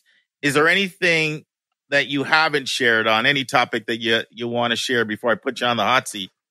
Uh, just to you know, be open minded about your college search process. Uh, you know, the public regionals tend to get overlooked, and so uh, some of that may be because of graduation rates. Some of that may be because of sticker cost. You know, so, so people will see the price point and go, "Oh, that, I don't know about that." Like that's a turnoff. I would rather go to a private liberal arts that may or may not offer the same academic quality, but they'll go there because of the sticker price. So don't be shocked by that. You know, I talk with families all the time and I tell them how much we cost and they're like, golly, there must be some catch. There's no catch. We're just funded through the state. And so that's where we get that deep t- uh, tuition discount that you may not get at other places. That's actually a really good point because just like people can get sticker shock on the high end and get turned off, they can also think, ah, you must not be that good. Why are you so affordable? Right. So that's that's that's the other side, and I guess you would hear that sometimes. What's the catch? Exactly right. I, I hear it all the time in my, especially in my more affluent areas here in the Atlanta area. Uh, people go, I, I just, I don't know. Like, I don't, I think that cost is too low. I'm like, well, I'm telling you, this is what it is. Like, I'm not, I'm not, I'm not hiding anything. This is, we're going to be very transparent about what our costs are.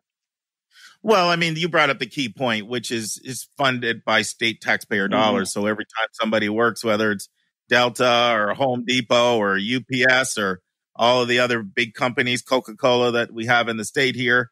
A chunk of uh, that's going to the University of Georgia's system mm-hmm. to fund all the schools to keep the cost down, and that's true for really most every state in the country. Right, has some type of uh, state financed education, whether it's your flagship or your regional publics that are being subsidized by taxpayer dollars. And even in addition to Columbus, I would encourage people to explore the regional publics um, in your local area as well because uh, they can go overlooked and can be a great option.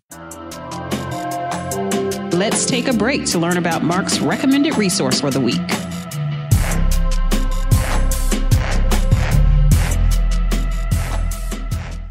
Friends, because our article was so bleak, we are giving you two recommended resources this week, and both of them are incredibly time sensitive. So there are advantages to listening to our podcast within the first three days after they're released. I want to thank Natasha for sending us this one. And the resource is Strive Scan is offering a virtual college exploration for four days. And those days are April 20th, 21st, 22nd, 23rd of this year. You will hear from admission officers with tips and over 300 colleges, that's right, over 300 colleges are participating. These 300 colleges will be coming from 40 states and 10 different countries. And best of all, this event is free. Just go to strivescan.com and all the information you need is on the homepage. Students should register because each panel they want to attend will require registration. Once they've registered, they will receive a confirmation email with their unique link to join the Zoom webinar. Students will also receive a barcode, but the barcode is not necessary for the virtual event. When you go to strivescan.com, you will also see the complete schedule of all of the sessions with their times, and you will also see the list of the 300 plus colleges that are participating. Now, the target group are 10th and 11th graders. NACAC and the regional ACACs had to cancel a lot of their fairs because of COVID 19, but they got creative and they're going virtual and I cannot recommend this highly enough. That's strivescan.com. Friends, if you've been a long time listener of our podcast, you will remember we had Carol Concore from George Washington University on our podcast on two different occasions as an interviewee. You will also remember we had Rick Clark, the director of admissions from Georgia Tech, on our podcast for an interview twice as well. Well, both Carol and Rick are pairing up with Ginger Fay, a former senior level admission counselor at Duke, to do a webinar entitled The Impact of COVID 19 on Admissions and Testing. The webinar will be on Tuesday, April 21st at 8 p.m. Eastern Time, 7 p.m. Central, 6 p.m. Mountain, or 5 p.m. Pacific. Here's just one of the many questions they will answer on this webinar. With the decreased role of standardized testing in the college admissions process, what other factors will have increased weight in the evaluation process? We will include the registration link in the show notes for this webinar. So if you are not COVID 19 burned out, I strongly recommend this and quite frankly, all of the Applerouth webinars. Now return to the final part, my interview with Taylor King. So can you give us the Columbus website? Sure. It's Columbus State, C O L U M B U S, state, S T A T E dot edu. Yeah. And I know uh, there's probably going to be a lot of interest in your music program, especially the way you described it. Is there a section or something they should look up specifically about that if they want to explore that? So I would just Google Schwob, S C H W O B, School of Music, Columbus State. Uh, go to the music school webpage. You can also go to music.columbusstate.edu. That's a more direct path. And just learn more about the admission requirements. So we have here for the School of Music here at CSU. Great. You ready for the hot seat? Let's do it. What what hobby or hobbies do you have, Taylor? Okay, so I am a, on a professional barbecue team, and I'm a professional barbecue judge. So that's my number one hobby. Nice. Love barbecue. Love you know barbecuing. Love tasting good barbecue. And so I, I included on my resume, and people are like, "Really? Wow. Why would you put that on there?" I'm like, "Because it's an interesting fact. How many professional barbecue judges do you know?" So you're the first one I've ever met. So, so what is it? How does that work? Like, you do you go to taste off contests or something, or how does that work? Yeah, so uh, I am a professional judge with an organization called the Georgia Barbecue Association. Georgia, uh, like most states, is a really big into barbecue. So we're traditionally a pork state. I had to go to barbecue judging school, which wow. was a half day, a half day seminar where we learned about how to judge barbecue, what to look for, not necessarily on taste because taste is something that's acquired, but you know the the texture and all that. So did that, and then uh, there's contests typically every weekend here in Georgia somewhere, um, mostly in southern Georgia because uh, that's where a lot of the great barbecuers here are, are in the state. And so you just sign up. It's a labor of love. So you just volunteer. You drive to wherever. Uh, you sit down at a tasting table. We have three categories that we judge here at the Georgia Barbecue. That is uh, pork tenderloin, pulled pork, and ribs. And so you'll usually sample uh, five to six different items per uh, whatever you're trying. And so typically you sit at two different sessions. So you'll get six different tastings of pork, pulled pork, and then six different tastings of ribs, which is a whole lot to eat. Um, so you know, you take your Ziploc bag with you, you sample a little bit, make your judge, and then throw the rest in the bag and take it home to eat. And so it's a really fun hobby that my uh, actually my cousin, my uncle got me a part of. And so it's just been fun. So I've judged all over the state of Georgia in different contests and tasted some excellent barbecue. Uh, our barbecue team will actually cook a couple of contests every year, usually one in the metro area, and then uh, we'll do one. We'll pick another one somewhere else and just you know load up and have a good time. It's a pretty expensive hobby, and so that's why we only cook a couple of times a year, but we judge way more than that. So that was fascinating. The only problem is now I'm really hungry and I'm craving yeah. some barbecue. I think our listeners probably are as well. Yeah. So if you come to Georgia, look me up. I can I can recommend you some great barbecue restaurants. The, a lot of people ask me, you know, they're like, "What uh, what's your favorite barbecue restaurant?" I mean, I have some, uh, but most of the time when you're cooking, you're eating and sampling the small batch. I call it small batch barbecue for mm-hmm. contest, it's going to be so much higher quality than somebody who's trying to cook for hundreds of people. So, mm-hmm. um, but we do have some excellent barbecue restaurants here in the state of Georgia as well. So if you ever make your way to the Peach State, uh, look me up and I'll recommend some for wherever you're going to be. Yeah, just look up Taylor King. You're visiting. You just get his email right off the website and ask him for his barbecue recommendations, and he'll fire back at you. That's good. Speaking about food, what what's your guilty pleasure? That food that's not good for you, but you just can't resist it sometimes. Oh gosh, anything by Little Debbie or Oreos. Oh my gosh, yeah. I guess you could say barbecue too, but I don't eat a lot of barbecue outside the contest. But any of those like snack cakes and stuff, I just love them. Oh, I can't keep them. And this thing now that we're quarantined, I can't even go to the grocery store and buy them because I'll just eat them all so quickly.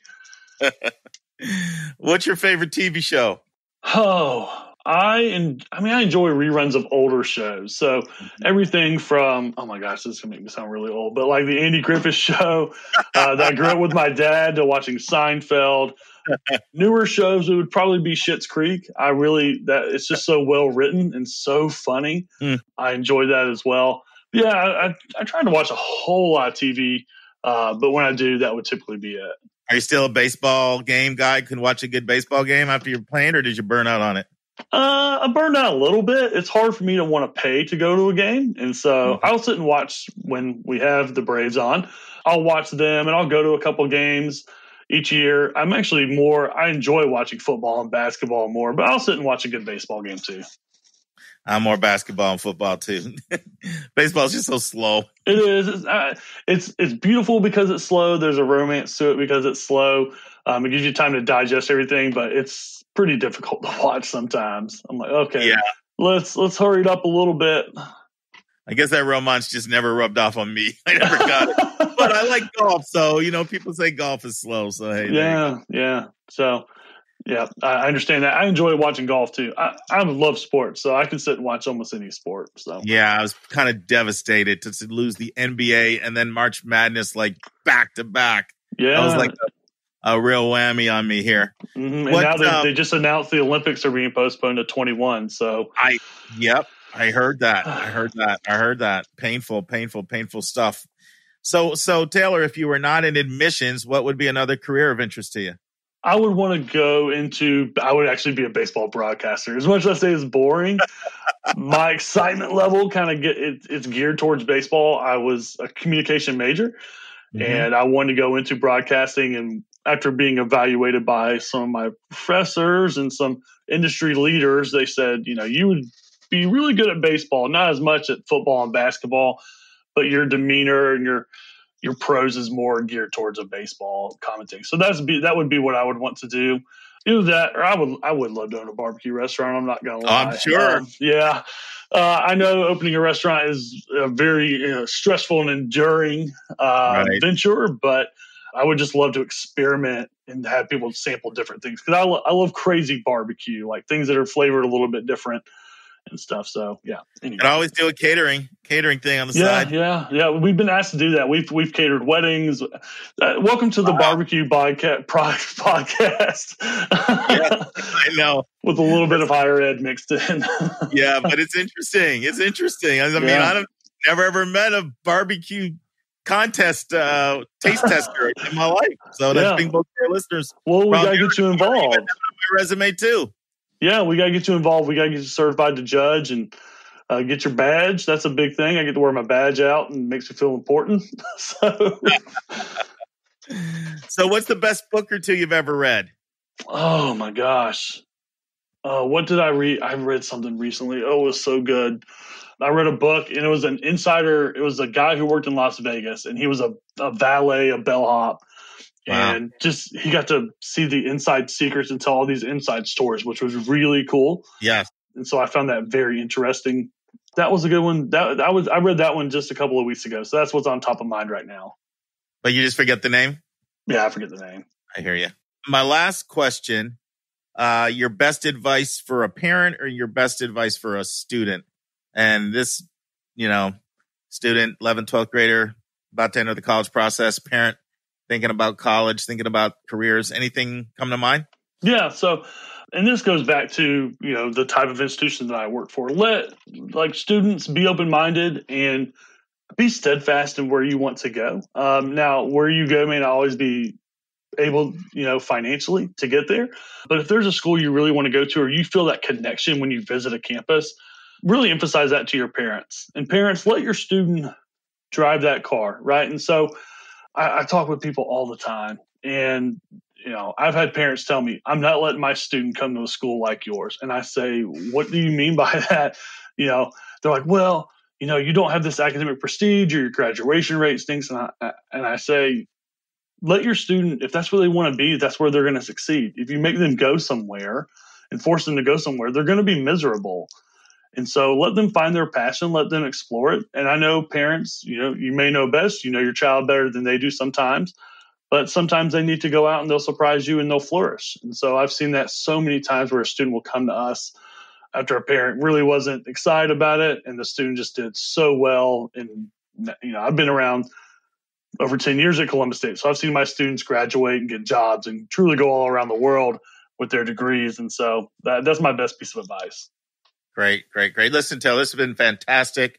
Really appreciate you taking the time to come on here today. And um, as you know, I'm working with you on coordinating a, a, a, school trip with a whole bunch of students to bring them out to see your wonderful university. And uh, you and I can plan that offline, but I'm I'm really excited. Well, let this Corona stuff die down, and but we're definitely going to make that trip happen. I, I did it once before, and it was a great trip, and looking forward to doing it again. All right, we look forward to having you guys on campus. So again, yeah, we love it when you guys come to visit us. All right, thanks. Next week in the news, because things are changing so quickly, we will announce our article at the time of the podcast. Mark and Nika will discuss chapter 117 How Can I Increase My Need Based Aid? Our question from a listener will be How do you look at the endowment to best understand a college's financial health?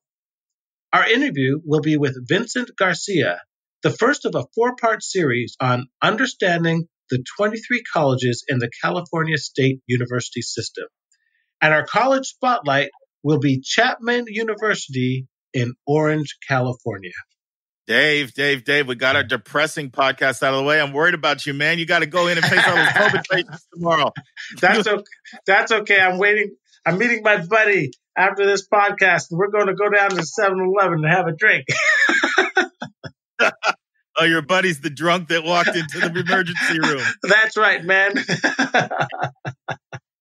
so, you know, know. Tell, tell, our listeners what the emergency room's like. You told me the other days there's this going on, there's that going on. That was like interesting. Paint the picture of what you normally see. Oh well, normally it's a it's a panoply of everything. You know, it's heart attacks, it's gunshot wounds, it's people coming with aches and sprains. The beauty of the emergency room is you never know. It, it's like Forrest Gump. You know, it's like a box of chocolates. You never know what you're going to get from one shift to another, and that's what I love about it. And there's a natural sort of energy to it, uh, craziness, uh, especially in the the urban centers. Um, it's not like now. I mean, it's only one thing that we're seeing, and it's uh, all COVID all the time. And uh, the patients are sick, and uh, they're sort of quietly sick. So you walk in, and despite the fact that it's quite busy, um, it's also eerily quiet. So, well, what percentage of people come in with like a sniffle or something but in their mind they thought it was you know this momentous event and they could have just like gone to urgent care or you know or taken a couple advils how often what percentage of people are like that well prior to this i would have said it was only about 20% but okay. what has truly been stunning is that for the emergency rooms outside of the hot zone we have seen our company, which is uh, TeamHealth, which has over 500 emergency departments throughout the country, has seen nationally almost a 50% drop in volume in emergency department visits. And I was even reading an article about where have all the heart attacks gone, that heart attacks themselves has dropped over 60, 70%. And people can't figure out, are people just having their heart attacks at home or not coming in? So, so the stunning thing for me was uh, what I would have thought was the ex- expendable portion of the emergency. The, those people who who have the option of not coming in, I would have only said was 20%, but but the data is showing that it, indeed it's much higher. So that's concerning, and and we'll see what percentage of that volume comes back. But you and I have already talked, Mark, that I think a portion that, that is going to be permanently lost to to telehealth and to urgent care centers and to, to whatnot. So, so it, we're, yeah, we're Dave knows, I, I, Dave knows I dropped a grand on telehealth stock this week after looking at these trends. I'm like, I'm to invest in some telehealth. I, he did. He did. I, I, I, don't tend to like to invest in things that'll put me out of business, but that seems to be a good one. That's not what I was trying to do, my friend. I know. I know. But I was like poo pooing telehealth. Who's going to see their doctor on a TV screen? And it turns out quite a few people. so, more so than I thought. I the resistance was. Last question for you. So I know you were licensed in 12 states. Now I need to say you're licensed in 13 states because they fast tracked you and got you licensed uh, in, in, New Jersey. Yeah. So you could work with the patients there. So should we expect you to be coming to us from New Jersey uh, for the next few weeks, or is this just uh, a short one week assignment? Well, it's a 60 day license, so we'll see how far that gets me. I'll be All here right. at least until the end of May and then I'll uh, I think they're moving me back to Connecticut. Uh, I might pick up some job work in New York City, but uh, it's very hard to predict where the market needs are going to be in the next few months. Um, only that they'll be somewhere, and wherever they are, that's where I'll be. So, all right. Well, stay safe. I will, Mark, and and and everybody. Thank you so much for for your thoughts and your prayers and your offers of the cookies all are, are greatly appreciated and it really does help me get through my day.